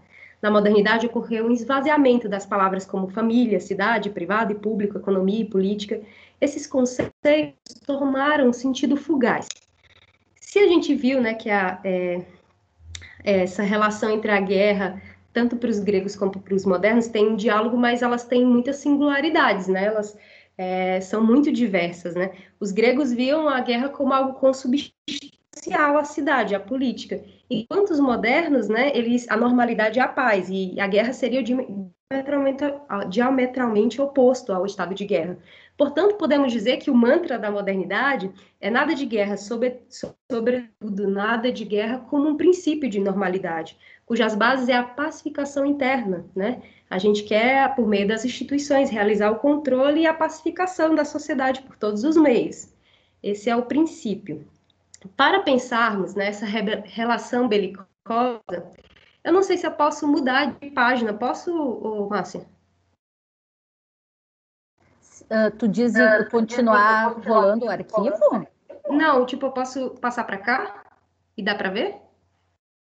Tu tá vendo? Eu tô vendo é o que tu tá lendo agora, nessa página 5.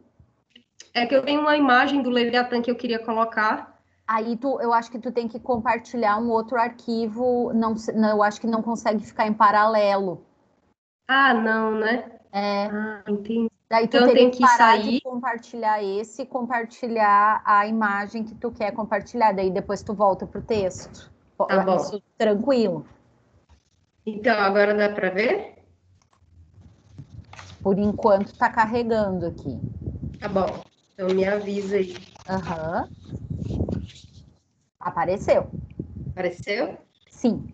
Então, então para pensarmos essa relação belicosa da guerra no âmbito da sociedade né, moderna, é, torna-se importante falarmos de Thomas Hobbes, pois o mitologema do estado de natureza foi uma das primeiras teorias a tentar calar o discurso bélico no meio da sociedade. Pra, para o pensador italiano, importa captar os arcanos contido na contidos na imagem mais famosa da política moderna, a primeira edição do Leviatã de 1651. Nessa imagem, né, que tem como figura central né, o soberano, né, a partir do seu dorso, tem uma, na construção claras referências das passagens bíblicas, especialmente é, nas passagens 40 e 41 do livro do Jó, de Jó, onde são descritas duas criaturas terríveis, Behemoth, na tradição judaica, re, representado como um touro gigante, e o monstro marinho Leviatã o soberano, com o corpo formado por uma multidão de pequenas figuras humanas, simbolizando a união na multiplicidade em uma única pessoa, representando a Commonwealth, seria o Leviatã, uma espécie de deus terreno. Esse, por sua vez, porta na mão direita uma espada, símbolo do poder espiritual, temporal, político, e na mão esquerda um báculo, símbolo do poder espiritual eclesiástico. O sentido simbólico né, dessa, dessa imagem pode ser compreendido, dentre outros modos, por meio de uma cópia manuscrita em pergaminho preparada para Carlos II. E aí eu trago uma imagem dessa cópia em pergaminho, onde os pequenos figuras, figuras humanas não olham mais para, o, para a cabeça do soberano, mas olham para, né, em direção ao leitor, que nesse caso é o soberano presenteado com o manuscrito, que é o Carlos II. Né? Muitos estudiosos se prenderam ao significado da imagem do Leviatã associada à teoria de Estado, mas deixaram, por outro lado, de questionar os detalhes aparentemente óbvios da posição do soberano em relação a outras imagens. De fato, o Leviatã vigia a cidade, mas a partir do exterior. Não é possível dizer claramente onde se localiza o monstro soberano, pois seus pés estão encobertos por uma paisagem, né? E em um trabalho inovador, Reinian Brandt, seguindo o cânone do homem vitruviano, desenhou a outra parte do corpo do soberano, como eu mostro aqui para vocês, antes ocultadas ao, aos olhos de todos, né? E o resultado foi surpreendente, porque o soberano parece que flutua. Segundo Agamben, essa é, nessa imagem do Leviatã, do, feita pelo, pelo Ryan Brandt, é, confirma né, a hipótese do Carl Schmitt que a oposição Behemoth-Leviatã corresponderia à, à, oposição geopolítica entre a terra e mar, né? Uma, teria uma confirmação dessa posição do Carl Schmitt. A localização do soberano constitui uma situação anômala, na medida que não podemos precisar se ele está sobre a terra ou sobre o mar. Em realidade, o Colosso não habita a cidade, nem mesmo os cidadãos vivem nela, né? Aqui eu tenho uma imagem da cidade amplificada. Então a gente pode ver que ela está praticamente vazia, né? Os cidadãos não habitam a cidade porque eles foram transferidos para o corpo do Leviatã, porque é, é, eles que dão, né, que conferem ao poder soberano, né, a, a legitimidade. Ah, para Francesca Falk, o frontispício mostra uma relação de troca. O Leviatã oferece proteção em troca da obediência de todos. Mas a cidade, aparentemente vazia, tem simbolicamente duas figuras humanas. Os primeiros, evocando uma tenebrosa conexão entre cuidado e seleção médica, parecem médicos, vestidos com uma espécie de máscaras, aqui perto da igreja, na frente da igreja, não sei se vocês conseguem ver. E o segundo, como se fossem guardas ou soldados com armas em punho, patrulhando dentro e fora da cidade. São esses pontinhos que tem em todo canto da cidade, não dá para me marcar, mas enfim. O primeiro grupo, identificado pelos estudos de Falk, são os médicos da peste, usando máscaras de bico. Né? E aqui eu trago uma imagem dos médicos da peste, muito comuns no século XVII. Esse traje ameaçador usado pelos médicos durante a peste tinha uma dupla função, né? Assegurar para assustar a praga como uma prática apotropaica e também evitar o contágio, pois é, esse bico aí, né, evitava que eles estivessem em contato direto com o ar, né? Fazer uma, uma espécie de separação. Além de tudo, a vestimenta tornava né, a identidade do, do médico irreconhecível e ele podia ser percebido de longe, o que assustava as pessoas, né? Já fazendo aí um distanciamento social. A política da peste foi determinante para a implementação de uma série de estruturas estatais de controles, como Boletim de Sanitar, um atestado sobre o estado de saúde do cidadão, para permitir ou barrar a circulação de pessoas, além de reforçar o controle fronteiriço das cidades. Dentre as medidas sanitárias, a FAO acentua o tratamento aos estrangeiros comumente impedidos de entrar na cidade, os pobres e mendigos que eram expulsos ou proibidos também de entrar. A presença do médico da, te, da, da peste no emblema assinala a FAO a seleção, para a FAO a seleção e a exclusão, né, a, é, e a conexão entre epidemia, saúde e soberania frontispício, né? Essa foi a forma que o que o Hobbes né, encontrou para representar a multidão de forma análoga à massa infectada pela peste por meio dos médicos higienistas da cidade. O segundo grupo que eu ia falar para vocês são os soldados, né, que são a, a garantia da obediência aos desígnios do poder soberano. Relação constituída né, ao longo do Decive, que enquanto que o, lá no capítulo sobre os deveres de quem governa, o Hobbes afirma então, todos os deveres do governante contidos em uma única sentença, salus populi suprema lex. Já o Leviatã, ele fala que sobre o encargo do soberano consiste na busca da segurança do povo. Aqui ele é obrigado por lei a prestar contas apenas a Deus, né? Porque é o autor dessa lei e a ninguém mais. A segurança e a saúde dos cidadãos é um elemento essencial para o Hobbes, pois é uma das obrigações do soberano, mas é também um elemento de submissão do povo que se encontra subjugado ao, ao soberano. Para estabelecer um pacto, a sociedade civil e todos os cidadãos têm a existência, sua existência física assegurada. O objetivo e o ponto final é a segurança da condição civil. Para suprimir esse estado de guerra, deve existir um poder forte e centralizado como garantia da ordem e da segurança por meio de seu poder de polícia. Não é uma casualidade que duas bestas do livro de Jó, Leviatã e Behemoth, sejam dois títulos de duas obras importantes de Hobbes. Ambos sinalizam a soberania e a guerra civil como partes constituintes da teoria da sua teoria de Estado. A guerra de todos contra todos não é travada entre diferentes na teoria hobbesiana mas do forte contra o mais não é do forte contra o mais fraco. Pois se houvesse essas diferenças maciças entre os indivíduos, a guerra logo seria dissolvida, pois haveria uma vitória do, do, mais forte sobre o mais fraco. Nesse campo, Hobbes conceitua os conflitos como representações calculadas entre os indivíduos, pois em todos os casos, pois em todo caso estão sempre dispostos à guerra, pelo menos representam essa disposição para o outro. É, no entanto, não há uma batalha na guerra primitiva de Hobbes. Existe o que Foucault chamou de manifestações enfáticas para fazê-lo. O conflito propriamente é um dos últimos acontecimentos. Essa ameaça da guerra, como espectro sempre presente, justifica, torna necessária a constituição da soberania. Talvez por isso Hobbes chegou a escrever em sua autobiografia: O medo e eu somos gêmeos. Pois o medo é que mobiliza, e o uso da força e do terror sustentam, mantém o soberano. Nesse tocante, a guerra civil é o estado de anarquia, na qual os sujeitos devem escapar, e seu regresso significa, segundo Hobbes, uma demonstração do, de retorno ao estado de natureza. Como os povos selvagens da América, descritos como pobres, sólidos, animalescos, estariam privados da paz e da beleza que a sociedade pode oferecer, pois não tem um poder comum a ser temido. A astúcia de Hobbes talvez tenha resida no fato de ter sido o primeiro a ver que não se pode pensar guerra sem o Estado.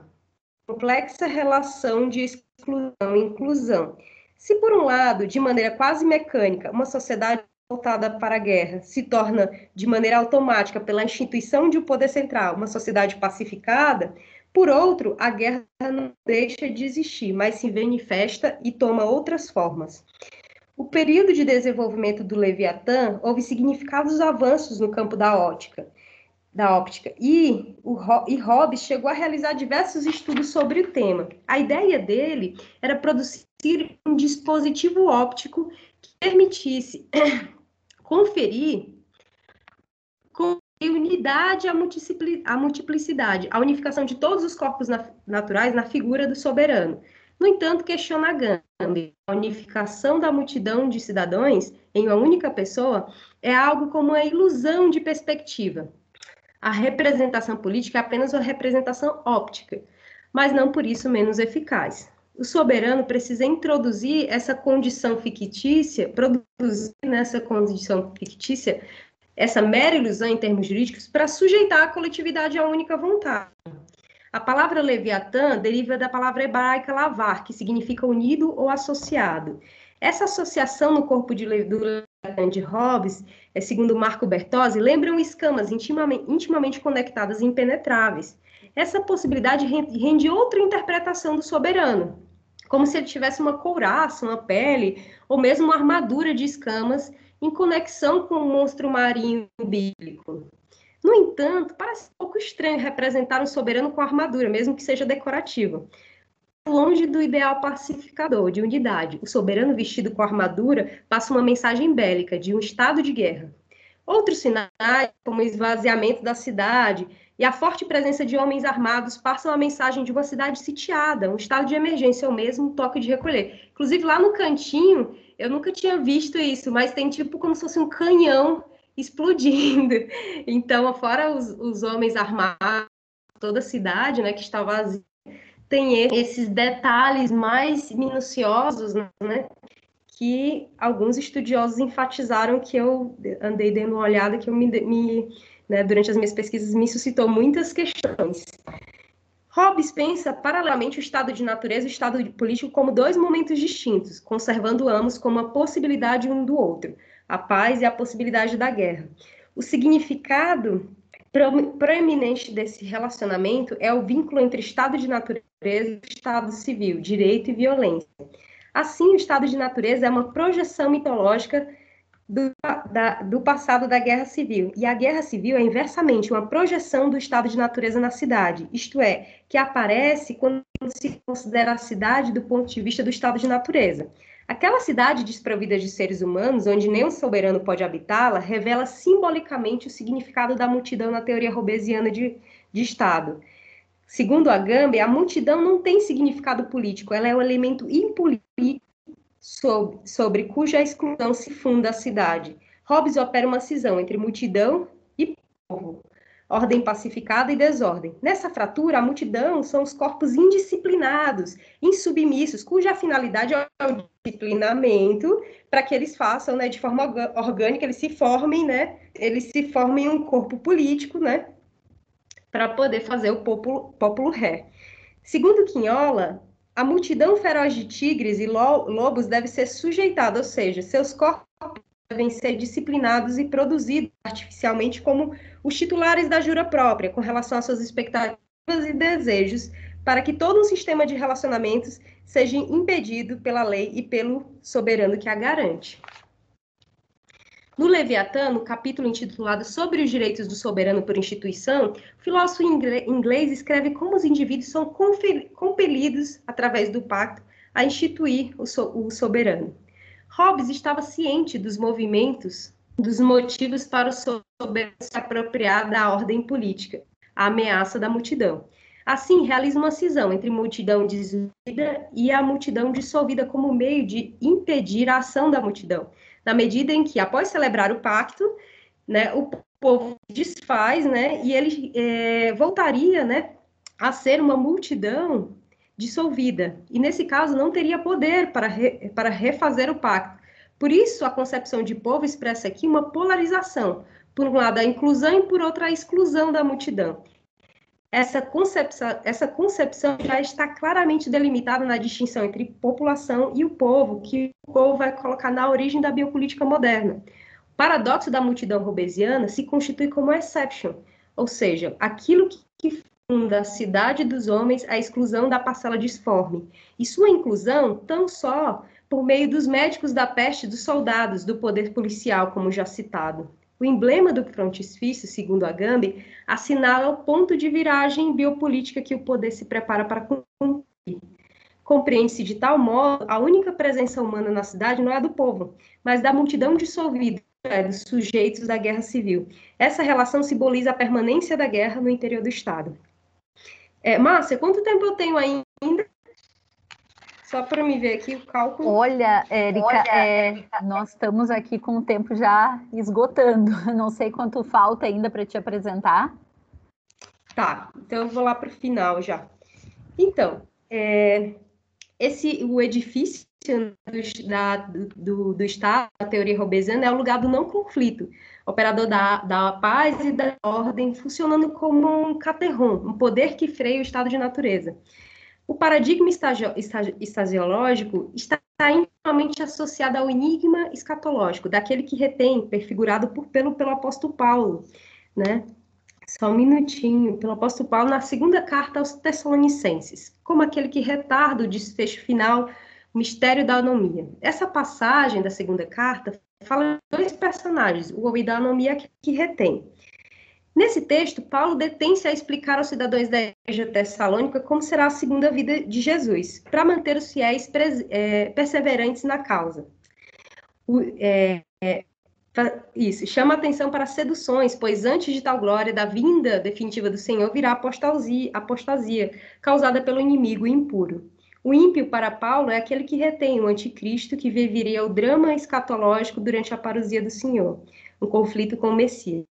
A expressão rocaterron foi apontada por Santo Agostinho como o Império Romano, uma relação consonante com a perspectiva schmittiana, na qual o caterron seria um poder que contém a própria seiva vital da cristandade, uma potência grandiosa como aquela do Império Cristão dos Regermânicos, onde haveria uma paralisia, um poder que freia o final dos acontecimentos é, essa concepção vê no estado de segurança o caterro, né, a potência que impede o fim do mundo.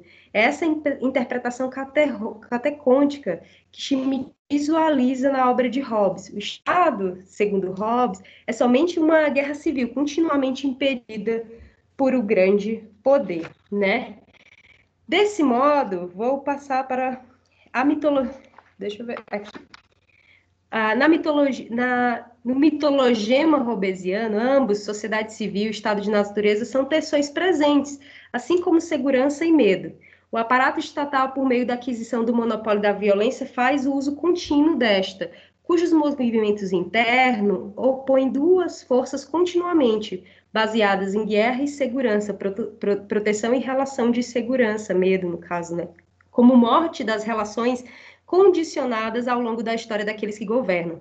Podemos dizer, segundo Cavaletti, que o exercício da soberania constituirá, portanto, na capacidade que oscila entre dois polos, no jogo conjunto de autopreservação, de arriscada conquista, do medo da insegurança, em projetar um, um, um como a aparência mitológica do outro. Entretanto, mesmo hipoteticamente, o modelo robesiano guarda consigo a ideia, talvez ingênua, de que o Estado seria um vetor para o fim do medo generalizado. Enfim, pessoal, isso para não, não passar muito tempo do horário já, já estabelecido. Aguardo as considerações de vocês, espero que tenha sido, sido proveitoso. E desculpa gaguejar, mas é que eu fico nervosa. Érica, muito obrigada. É, não precisa te desculpar de nada, que a gente está entre colegas, mas também, sobretudo, amigos, né? Então, vamos é, enfim, usar esse espaço com tranquilidade, não te preocupa. Parabéns pela tua exposição. É, fico feliz é, de ver que tu tá, enfim, a, tenha avançado nas tuas leituras, nas tuas pesquisas, né? E certamente aquele tempo em Padova também tenha colaborado largamente para isso. É, muitas ideias, né, Érica, que chamam a atenção na, na tua fala. É, então, é, eu abro é, a oportunidade para os colegas fazerem questões. Uh, quem quiser pode levantar a mãozinha ali naquele mecanismo onde tem a figurinha da mão para fazer perguntas. É, enquanto os colegas se organizam para perguntar para a Érica, eu vou aproveitar para fazer uma, uma consideração é, e também uma, uma questão, Érica. É, bem, nós vemos que o paradigma da guerra ele perpassa né, o pensamento político filosófico é, desde muito tempo, né? Autores é, importantes e, e, e bastante é, controversos em suas ideias, né? Como Hobbes e Carl Schmitt já fazem esse arrazoado e vão desembocar no pensamento crítico de Agamben, né? Então, essa, esse paradigma da guerra, Érica, ele, ele sempre trazia muito claramente aquela guerra, digamos, clássica, né? Do confronto, do enfrentamento belicoso de uma maneira muito aberta, muito, uh, uh, enfim, do combate mesmo, né?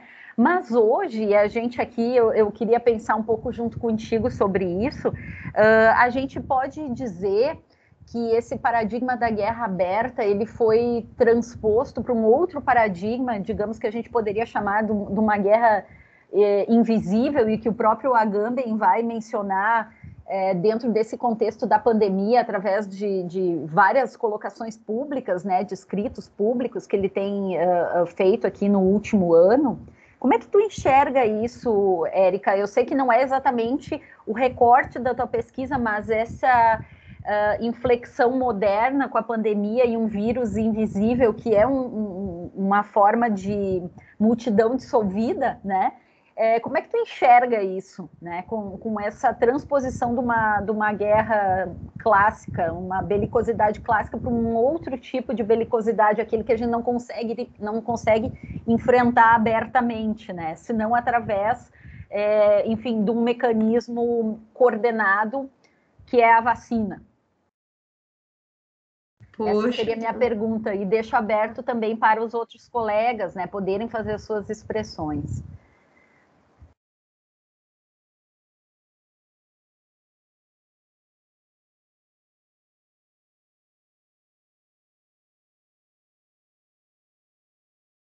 Aqui nós temos uma pergunta de Eduardo Monteiro. Eu vou ler a pergunta para ti, tá, Érica? Uh, o Eduardo disse que a tua apresentação foi maravilhosa e ele diz que não é um, um, leitor assíduo de Hobbes, mas ficou muito interessado com uma leitura mais aprofundada, principalmente sobre o simbolismo das imagens que tu trouxeste, Zé. Este é o comentário do Eduardo Monteiro. Se tu quiser fazer algum, algum complemento sobre a questão imagética que tu trouxe, que acho que também é muito importante, né? Ela nos traz uma, uma iconografia também da peste, né? Castor, quer fazer alguma, alguma colocação? Sim, na, na verdade, eu teria duas questões, mas parece que entrou outra questão aí. De repente a gente dá. Do José. Uhum. José da Mata. Uhum. Érica, vou lançar mais essa questão do colega aqui para ti. É, a Gamben faz uma crítica ao que ele chama de mitologema do contrato social em Hobbes. Você teria como clarear um pouco essa questão? Ele pergunta. Acho que com essas três provocações, por enquanto, tu podes articular as tuas reflexões, Érica. Obrigada. A pergunta da Márcia é a pergunta que eu estou tentando é, responder na tese, tá, Márcia? É por isso que o teste não está pronto. Eu tenho certeza que essa pergunta foi altamente combinada com o orientador, brincadeira. Mas exatamente, Márcia, é, é, é claro que não, o, o, paradigma da guerra soberana, né, da guerra é, aquela entre estados, que, tá uma, que tem uma formalização, né, uma declaração de guerra, essa guerra ela não existe mais, as, os conflitos eles estão cada vez mais diluídos, né? De uma forma que se torna até difícil precisar, né? Então se fala-se em muitas, em muitas formas de guerra, mas não existe, como a Gambe mesmo ressalta no texto, uma teoria da guerra capaz de dar conta, né, a essas lacunas, né, que vamos dizer assim, a essa, essa espécie de, de é, é, vamos dizer assim, é, a teoria do direito internacional não, não, não corresponde mais ao que é a guerra hoje, né? não ampara mais os conflitos. Isso também é colocado pela Judith Barclay, né? É, de forma muito interessante, né? e ela, ela inclusive fala né, sobre, sobre a questão dos prisioneiros de Guantánamo, né, como o paradigma bélico ali se expressou né, é, de forma mais clara é, sobre a questão desse descompasso em relação às leis, né, às convenções internacionais do direito, em relação ao que a gente tem hoje né, de, de palpável em relação aos conflitos, né, porque os, os prisioneiros não poderiam ser, é, não poderiam é, estar dentro né, das convenções do direito internacional, eles estavam fora né? E esse foi um argumento que, por exemplo, o governo americano na época utilizou, né, para não dar o um amparo necessário. Então, acho que é uma discussão que tem aí, né? E a outra discussão é perceber, né, como, né, essa essa forma de guerra civil, né, a partir do, do que o Agamben chama de uma guerra civil legal, né, coloca, né, outra outra forma de conflito, né? Porque a gente vive no, numa, numa governamentalidade, né? Não é relação entre governantes e governados. Então a gente tem que sempre pensar como essa esse poder, né, que nos governa, ele nem sempre, né, é o poder que é, da, da, política, nem sempre é o poder do, vamos dizer assim, da pacificação. Existe uma reversibilidade, né, nessa relação que traz, né, nessas, nessa, nesse nesse âmago, né, o conflito, né que, que se estende cada vez em limites e práticas que a gente não consegue mais é, ter amplamente delimitado, porque essas declarações de guerra sumiram, desapareceram, né? O Agamben coloca a Guerra do Golfo como um, um, símbolo disso, né? De não existir mais essa prática de guerra declarada, e por outro lado, ela se essa guerra que existia uma ideia, né? Do, do Estado como se fosse um pacificador da política interna, né? E o externo fosse a guerra soberana, daquelas de declarações oficiais e tudo mais. Mas essa ideia do externo e do interno estão cada vez mais diluídas, né? A gente vive uma crise é, dessas, desse, desses limites, né? Que são cada vez mais, mais vamos dizer, é, difíceis, né? De, é, é, é enfim, é complicado. É, eu, eu não saberia de, é, realmente dizer, né, responder a tua pergunta completamente, porque eu estou ainda investigando essa parte, mas é difícil a gente poder, é, vamos dizer assim, conceituar né, esse, essa, essa episteme da guerra civil né, a partir do que é, está sendo colocado. Se existe uma definição na minha tese sobre a guerra civil, eu não tenho. Ai, meu Deus, meu orientador vai me matar. eu não tenho uma, uma definição da guerra civil, porque eu acho que isso é uma coisa que está se construindo, entendeu? O próprio Rodrigo Camus, que é um cara que tem escrito muito sobre, que é um cara que admiro muito, se você é amiga dele, então, que tem escrito muito sobre essa questão, ele, ele também coloca essa questão propriamente, assim, não existe uma definição de guerra civil, mas justamente essa, é, vamos dizer assim, essa, essa guerra como um, uma questão cada vez mais diluída, como um próprio um paradigma mesmo do nosso tempo. E a outra questão sobre as imagens, enfim, essa, essa, essa apresentação, eu vi uma vez o Quinhola fez uma apresentação com essas imagens, elas são muito potentes, então, em grande medida, eu bebo do que ele do que ele coloca, ele fala, né? Mas um artigo, depois, se a pessoa se interessar melhor, Hobbes, é, agora eu esqueci o nome em inglês, mas eu posso depois passar, que tem uma, uma visão mais detalhada. Tem uma série de artigos, na verdade, sobre a, sobre a própria simbologia imagética do... É muito rico, né? Eu coloquei só um terço aí do debate. E a crítica ao mitologema do contrato social de Hobbes, né? Essa é uma questão bem interessante também, que o Agamben traz, né? Porque um, um mitologema, até isso focado na minha, na minha é porque é um mito, né? O estado de natureza, como o Hobbes pinta, essa transição, né, que existe, é, para mim é uma história, né, que, que é contada, né, para poder justificar, né, a ideia do contrato social. Por isso essa ideia de um mitologema, né? Não, não é de fato um estado de natureza, né? Seria um estado de natureza fictício, como é a própria ficção de um contrato social, como é a própria ficção de ter que instituir um poder soberano, né? Como ele fala mesmo dos, dos, dos é, é, como ele fala dos povos da América, né? Como seres é, egoístas, sórdidos, é, enfim, ele, ele acha que é, todos os indivíduos, né? Se não estão é, unidos pelo contrato, se não tem um poder unificado que possa impor né, o controle, né, possa impor, né, é, o fim da guerra de todos contra todos, eles estão ali colocados, né, como selvagens, bárbaros, né, e isso é bem retratado também no Leviatã, né, onde ele coloca, ele também coloca essas figuras, o bárbaro ali nu, né, e tudo mais, é, tem, é, pelo menos é essa visão que eu encontro nas passagens que eu li. Eu também não sou uma leitora profunda do Hobbes, né? Eu sou uma leitora da Guerra do Hobbes. Eu tento encontrar ali as coisas que me que me atraem, né? Sobre a questão da guerra em Hobbes e muitas muitas outras obras me fogem, né? Que tem outras leituras, outras passagens são bem interessantes. Não sei se eu respondi as questões, mas Tentei. É, Érica, tu depois digita o teu e-mail aqui para dialogar com o Eduardo Monteiro. Ele está pedindo para um, conversar contigo por e-mail e está aberto para mais duas questões, então.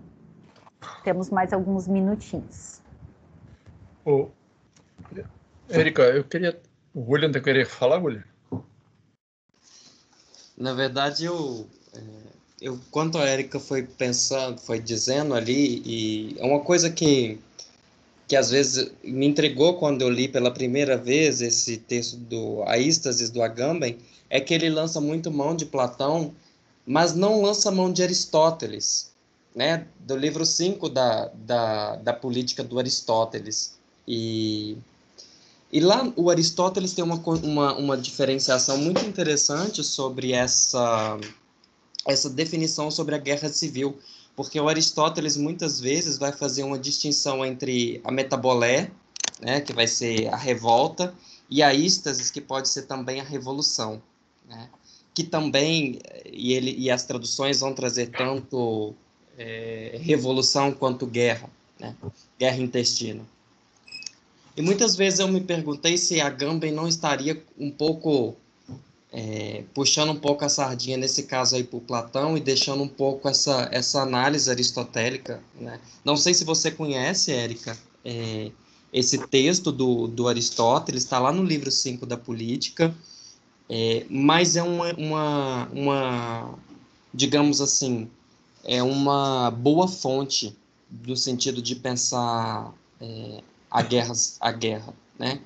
Porque ele vai tocar várias questões, muito mais do que é, o modelo de Platão, porque a gente sempre lembra que Platão está pensando no modelo da justiça, né? Então ele está tentando encontrar sempre lá na, no livro da República como pensar a justiça a partir dos seus modelos. Né?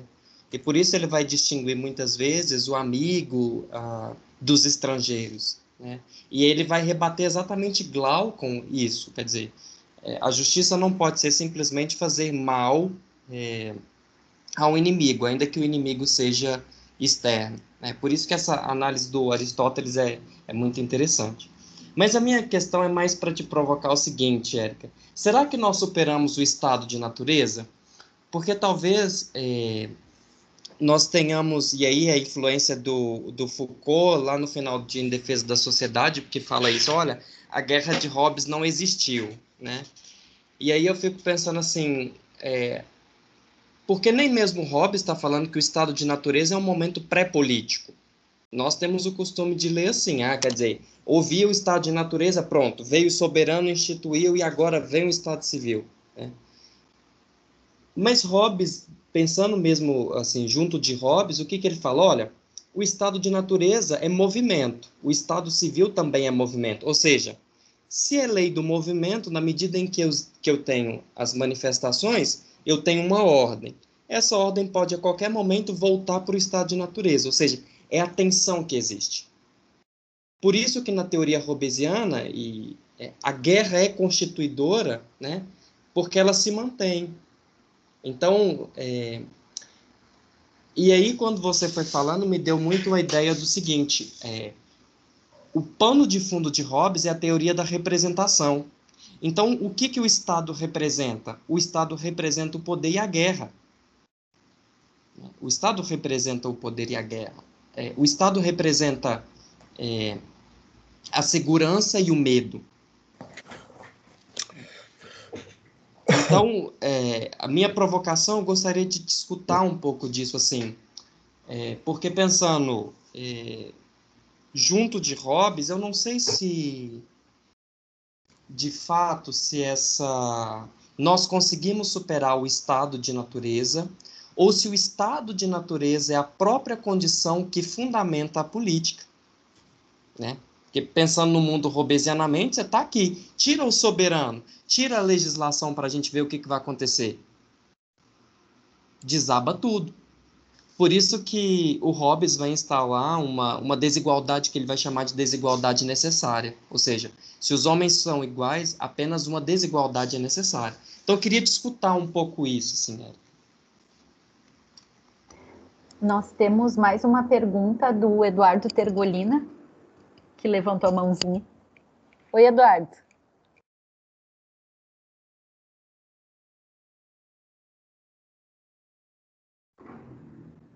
Eduardo?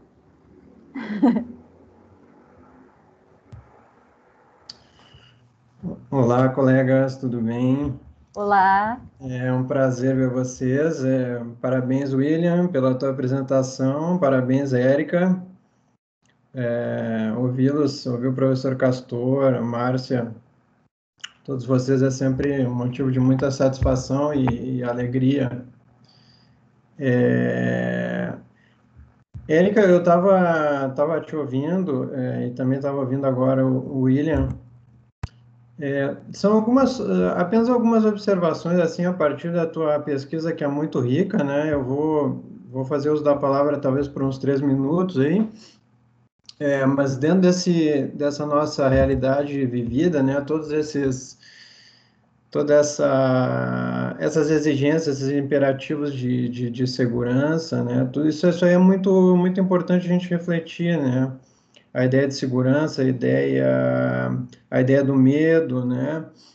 É, mas eu queria eh, trazer algumas ideias aqui a respeito. Eh, quando tu disseste ali da, da estasis, né? Como como aquilo que está parado, como a estabilidade, como que tem a posição, talvez aquilo que precede o movimento, eu não pude deixar de fazer relação também com o próprio conceito de Estado, né? Que se a gente for pensar Estado, né?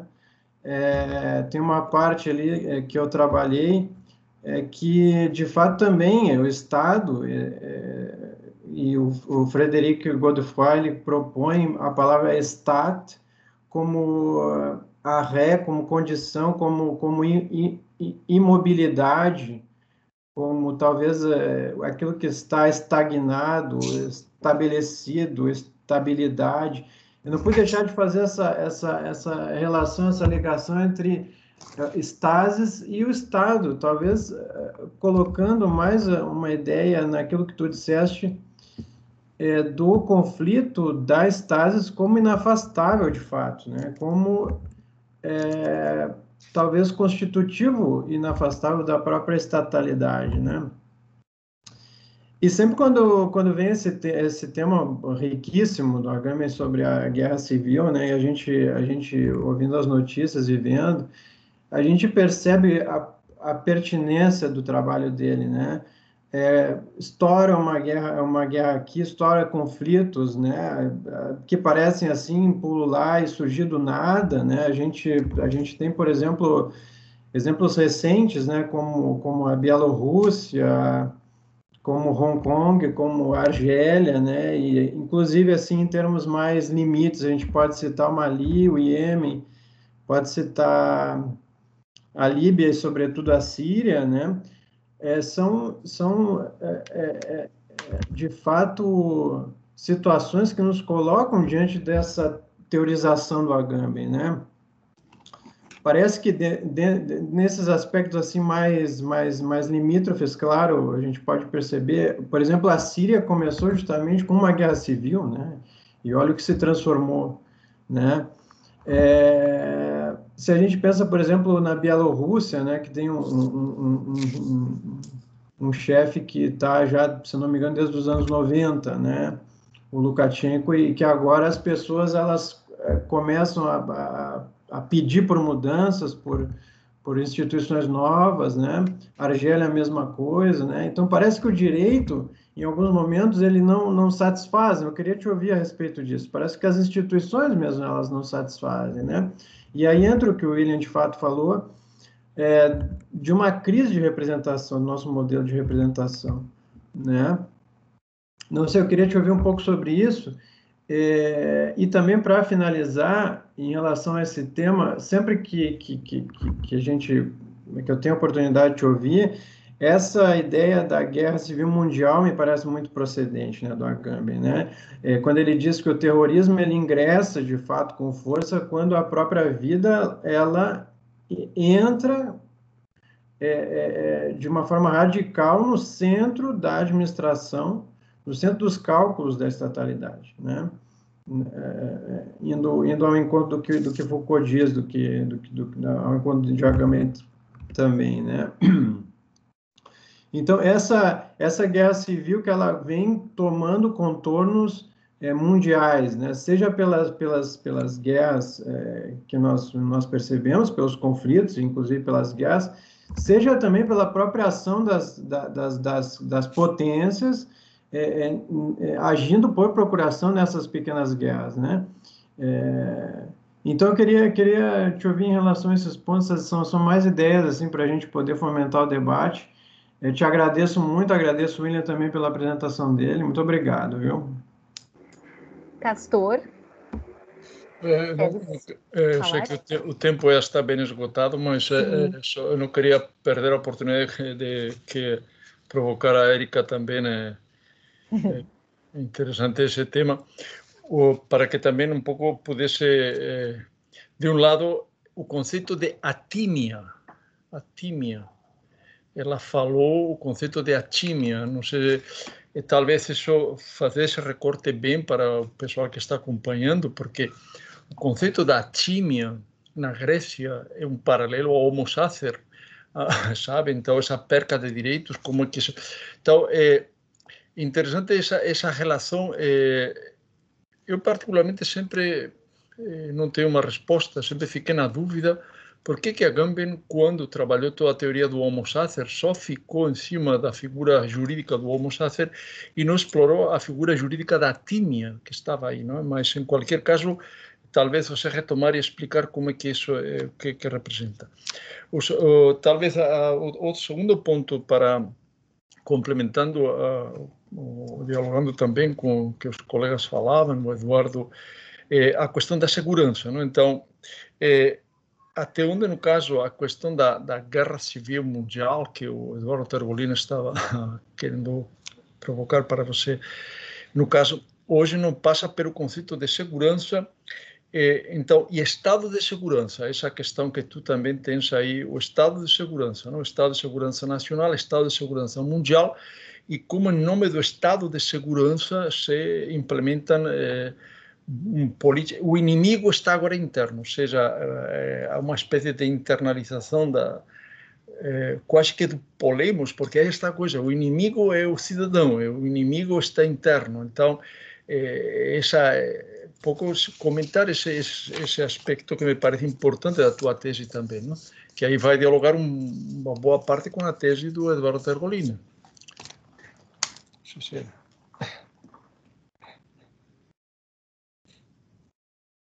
Érica, fica à vontade então para fazer os teus comentários a respeito das provocações que foram trazidas. Obrigada, nossa, muita coisa boa aí. Obrigada pelas colocações, é, Castor, o pessoal, o William. Pergolina, li sua tese, nossa, que primor. Então, eu estou esperando o livro ser publicado para me poder pegar mais um autógrafo seu, porque realmente ficou muito bom. É, depois você divulga aí para a gente quando é que vai sair o livro, que realmente merece uma publicação. É, sobre a questão do que o William colocou no livro 5 de Aristóteles, eu já li, né? Mas eu não vou lembrar agora de cabeça é, o que, que tem lá no livro 5, né, sobre essa história. Mas eu queria até saber o que, que você acha, Fazendo mais uma coisa mais dialógica, assim, mais dialogada, o que, que é esse metabolai que você falou? O que, que você acha que é isso lá no, no Aristóteles? Porque o, o metabolai, né, no sentido de mais de revolução, pelo que eu entendo, né? Não é não de transformação das coisas e propriamente. E aí até a Arendt vai e sobre a revolução fazer uma distinção sobre isso, né? É, ela vai fazer uma distinção entre guerra civil e, e revolução. Claro que depois ela vai dar continuidade se centrando mais a ideia de evolução. Então, por isso, talvez o Agamben não se centra tanto na questão do Aristóteles. Eu não lembro exatamente o que tem no livro 5, mas, sei lá, estou tentando encontrar uma resposta. O que, que você acha?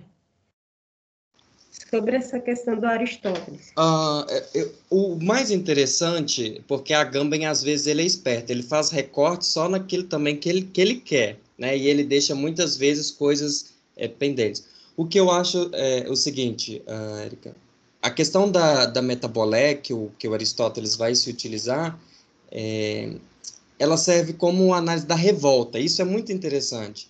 E ele vai utilizar, e aí, por isso que a revolta intestina, né, ele vai se utilizar assim, e a questão da êxtase, muitas vezes ele vai utilizar como sendo a revolução. Então, há um contraponto. Ora, ele joga a êxtase como sendo a revolução, ou seja, então nós teríamos de pensar se a êxtase é revolução, pode ser que nem toda êxtase é negativa. Porque se ela for revolução, ou seja, é, é a êxtase que vai pressionar o poder político. Por isso que, por isso que eu tô te, te jogando assim, tô te, é, te cutucando no sentido. Se a êxtase ela pode ser o conceito de revolução interna, ou seja, é, se ela pode ter esse sentido, pode ser que ela também tenha alguma concepção que seja positiva. É a êxtase que pode ser nesse caso, pensando dessa forma aristotelicamente, é ela também que de, é, dissolve a representação do Estado. Ou ela que rompe com essa representação do poder soberano.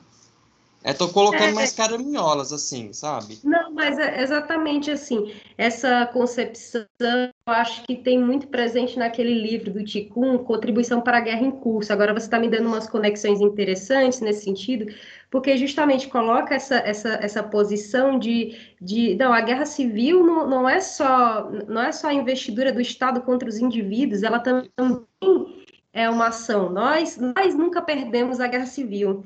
O Estado quis nos tirar ela, mas agora a gente, ó, a gente nunca perdeu essa, como você falou, exatamente essa conexão.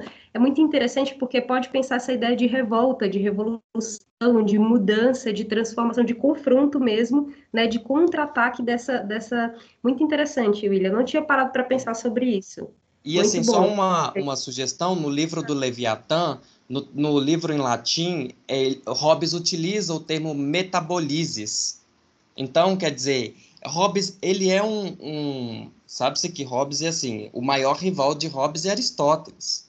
É o maior rival, não tem como, né? E, e ele se utiliza disso, ou seja, o que, que ele fala na, lá no Leviatã, no termo latim? Que o Estado vai neutralizar, ou seja, ele vai suprimir a metabólise, ou seja, o princípio muito pode massa. ser o princípio da revolução. Então, assim, quando você foi falando, eu falei, talvez a gente tenha de pensar também por um outro aspecto, né? Por isso que eu te falei do livro de Aristóteles.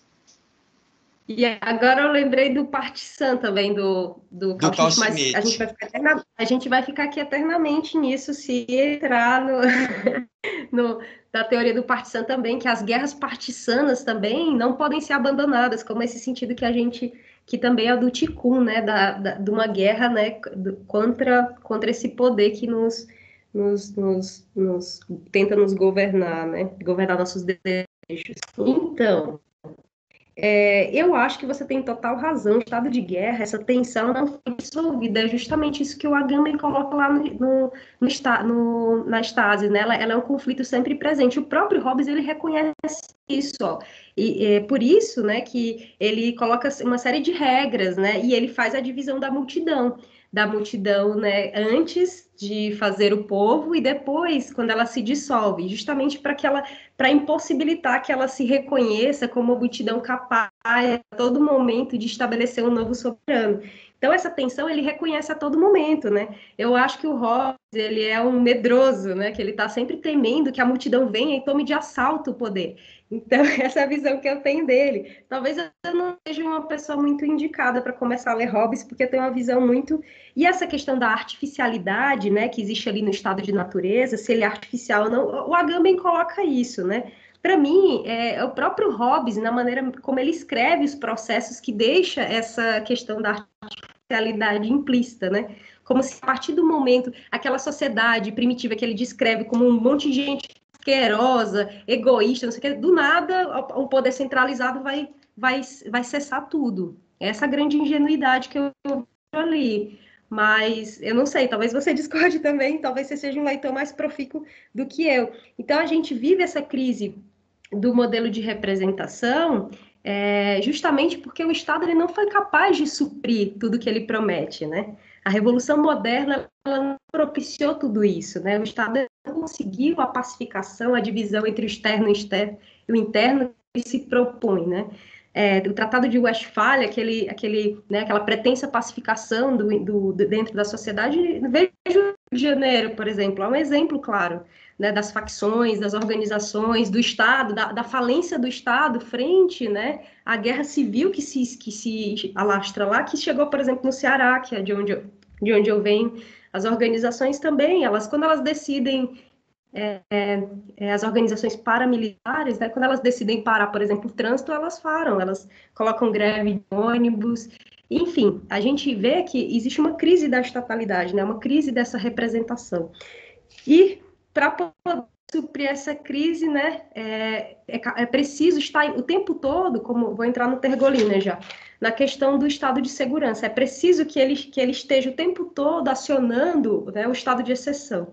Ele esteja o tempo todo em ritmo de exceção para conter, né, de violenta, né, para poder utilizar dispositivos excepcionais, é, para que, né, enfim, para que ele contenha, consiga fazer ali a contenção da própria miséria e pobreza que é gerada por esse, por esse arcabouço né, todo, né, que é o, o, o né, que a nossa sociedade cria como um todo. É, então, eu acho que a questão da segurança, ela é muito, ela é um mote, né, muito importante, porque o Castor às vezes me lembra, né, para mim não falar sobre da questão negativa da segurança, porque é a segurança que nos permite ir né, aos lugares, é a segurança que nos permite andar à noite, né? E realmente a gente tem que ver que existe uma reversibilidade né, nessa questão da segurança. E é interessante porque tem uma posição do Lazarato que eu estou agora voltando a rever, que ele fala que existe uma a relação, aqui queria até que se alguém quiser com, com, é, comentar, essa relação entre governantes e governados, ela só existe no centro, né? Essa relação de segurança e pacificação como uma relação de plena governamentalidade, ela só existe entre os indivíduos que estão na classe média, nos indivíduos à luz do dia, aquelas, aquela situação do policial à noite com um jovem negro, né? essa, essa situação ela causa né, é, vamos dizer assim, aquela, aquela veste soberana né, sobre o policial que está ali com o poder de fazer, ali, de decidir o que, o que pode, pode ou não ser feito, né? Então, a gente vê que a, a sociedade, né, ela, ela não é amplamente, não, essa, essa relação de governabilidade, ela não foi amplamente, é, não é homogênea, os conflitos eles são diferentes em determinadas camadas da sociedade, né? E por isso que é, eu gosto muito da perspectiva que coloca muito mais, né? Se o estado de segurança ele é algo necessário, talvez seja para a classe média, para que, detém, que tenha um poder político, né? Para os empresários, né? Nas periferias, a relação não é de governantes e governados, né? A relação ainda é do soberano, da, da, da soberania, do poder de polícia. E muitas vezes é uma reversibilidade que existe, né? Os conflitos, eles existem a todo momento. É essa história de, ah, nós não podemos enterrar nossos mortos. A periferia nunca enterrou seus mortos, né? Os corpos não são nem achados. Então, se a gente for pensar a questão que o Agamben coloca no texto, né, que nunca enterramos nossos mortos, né? Mas como não enterramos? É, a periferia nunca enterrou, não se acham nem os corpos dos meninos.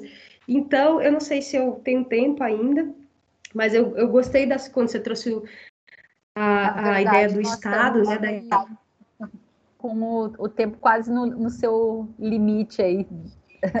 Ah, mas aí eu só para terminar essa, eu gostei muito da ideia do Estado, né, dessa questão da, do movimento da imobilidade. Eu coloquei isso na tese, só que eu não queria ficar muito grande, eu só queria colocar essa questão para adentrar na questão da, da Lohua ali, porque a estasis quer dizer muita coisa, né? Pode ser o adoecimento da, da cidade, o, o William colocou agora também outra conexão possível. Então, é, é muito interessante pensar né, o, o, nexo que isso pode causar. Eu vou explorar mais isso que você falou, viu, Tergolina? Então, é, então, exatamente como você falou, o acirramento dos conflitos é justamente porque a vida, a vida ela está no centro, né? Ela se colocou como centro, né? E quando é, é, essa, essa, essa apropriação do poder da vida, né? propriamente política, tanto é um argumento para poder é, agir né, em forma de exceção, e aí na minha tese eu desenvolvo muito essa. Muito não, mas eu desenvolvo em parte uma relação estrita né, entre a, estado de exceção e a guerra civil, né? Eu acho que não se pode pensar é, a, os dispositivos bélicos, os pequenos dispositivos bélicos, as pequenas a pequena guerra, né, ela é acionada a partir da exceção, ela não existe sem a exceção.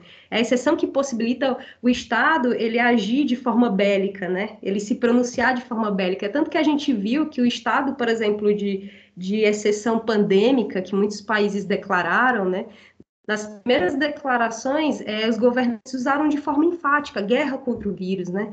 Então, essa, essa, essa espécie de confronto, né, de, de se estabelecer uma, uma, E aí, nesse sentido, a terminologia não é casual. Né? Essa guerra é, é, é, o acionamento, sim, através do discurso, de uma, de uma espécie de normalização né, da, das práticas bélicas já. Né?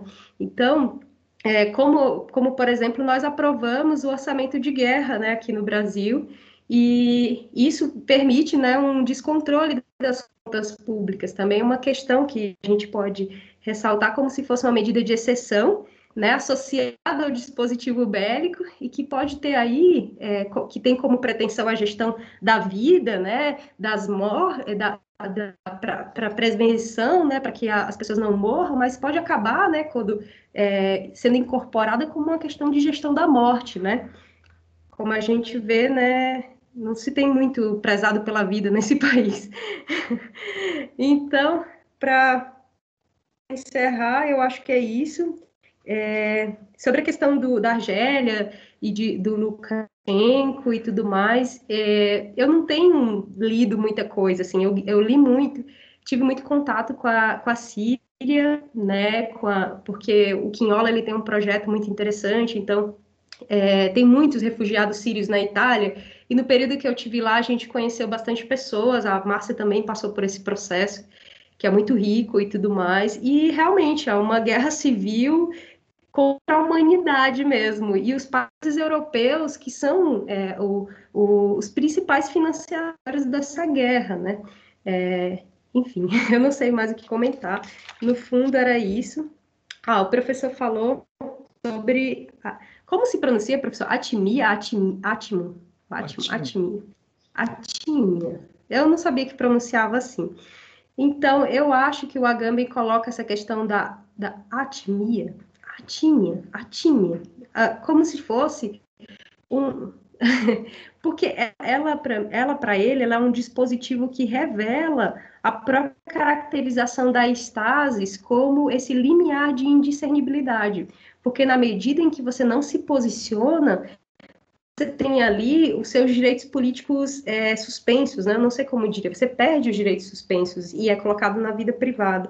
E desse sentido, ela, ela é como se fosse uma, um, um elemento que, vamos dizer assim, que coloca em mais evidência essa relação que, que existe entre o privado e o público. Né? As coisas não estão totalmente separadas, né? Elas vivem, como ele diz, né? Numa, numa numa conflituosa ali é, harmonia, né? Que é, se, se isso encontra alguma um equilíbrio ali entre os gregos, o senhor conhece o texto mais do que eu, e isso na modernidade tende a se exacerbar, né, justamente porque a vida foi colocada, né, no centro de tudo, né, não a vida política, a vida qualificada, mas a simples vida natural. Eu não sei se eu, é, se eu respondi também, já perdi, mas é isso. Obrigada, gente. Se você quiser comentar. Oi, só, só uma, uma questão, e isso também talvez possa interessar o pastor. É, a noção de a tímia, ela foi bastante desenvolvida pelo aquele amigo, colega do, do Agamben, o Ian Tomar. O Ian Tomar. É, o Ian Tomar vai ter uma análise disso que é, ó, fantástica, vale a pena. Né? O Agamben não desenvolveu e é interessante porque a ideia de vida, aquela ideia de, de vida, vida nesse hipotestas, ela é do Ian Tomar, então é uma referência muito bacana nisso aí. É, o Fustel de Coulanges, ele tem um estudo também na, na, sobre muito interessante sobre mas enfim é um questionamento a, na verdade o próprio Agamben por que ele não explorou essa, esse, esse esse conceito que como homo sacer realmente até fundamentaria sua, sua hipótese principal da, da é, mas enfim eu acho que é, fica aí Sim, então agradecer, né, Castor, a, uhum. a Érica e ao William pelas apresentações, pela, pelo compartilhamento de ideias. Então, de minha parte, desejar coragem e saúde para vocês todos e todas, né? Porque é o que mais nós precisamos agora: coragem e saúde para continuarmos é, nos nossos nos nossos intentos, nas nossas lutas, em nossos campos, né? E, enfim, Castor, também te passo a palavra para tu poderes fazer o encerramento. Obrigado, então, a todos e a todas e até o próximo encontro. Então, pessoal, agradecer a todos a presença, a participação. Só queria compartilhar aqui. Vejam, o próximo encontro será de, o segundo seminário, não? o dia eh, 22 de abril, não é? onde o, teremos estas duas conferências, Fernando Henrique Orita, não? O tema Os nexos entre o Estado de exceção e o direito penal do inimigo, nos desdobramentos do pensamento de George Agamben, e o Luiz Felipe Piccoli, que está aqui conosco também, o Que Resta da Soberania, uma investigação a partir do Schmidt e de Agamben. Então, 22 de abril, como falei, em princípio a proposta temos eh, cinco seminários que iremos desenvolvendo ao longo do, do, do semestre, não? Parece que a, a a modalidade permite, ao menos, eh, esta, esta, esta partilha, não? esta partilha e este debate. Não? Agradecer muito ao William e à Erika. Eh, confiamos que para eles também o esforço de apresentar também tenha servido como, eh, como retorno para si mesmos. Não? Enfim, com isto a gente nos despedimos. Eh, nos, eh, então, agradecendo a todo mundo mais uma vez, viu? E, em princípio, é, fica gravado, eu acho que também fica disponível, se alguém quiser depois compartilhá-lo, enfim. Tá bom? Grande abraço a todo mundo, pessoal. É, um grande abraço a Eduardo, Márcio, William, Erika, Paulo, a Renata também que está aqui presente. Então, é, e nos vemos outra oportunidade, pessoal. Obrigada, até a próxima. Abraços. Até, pessoal. Boa noite. Tchau, tchau. Boa noite. Boa noite.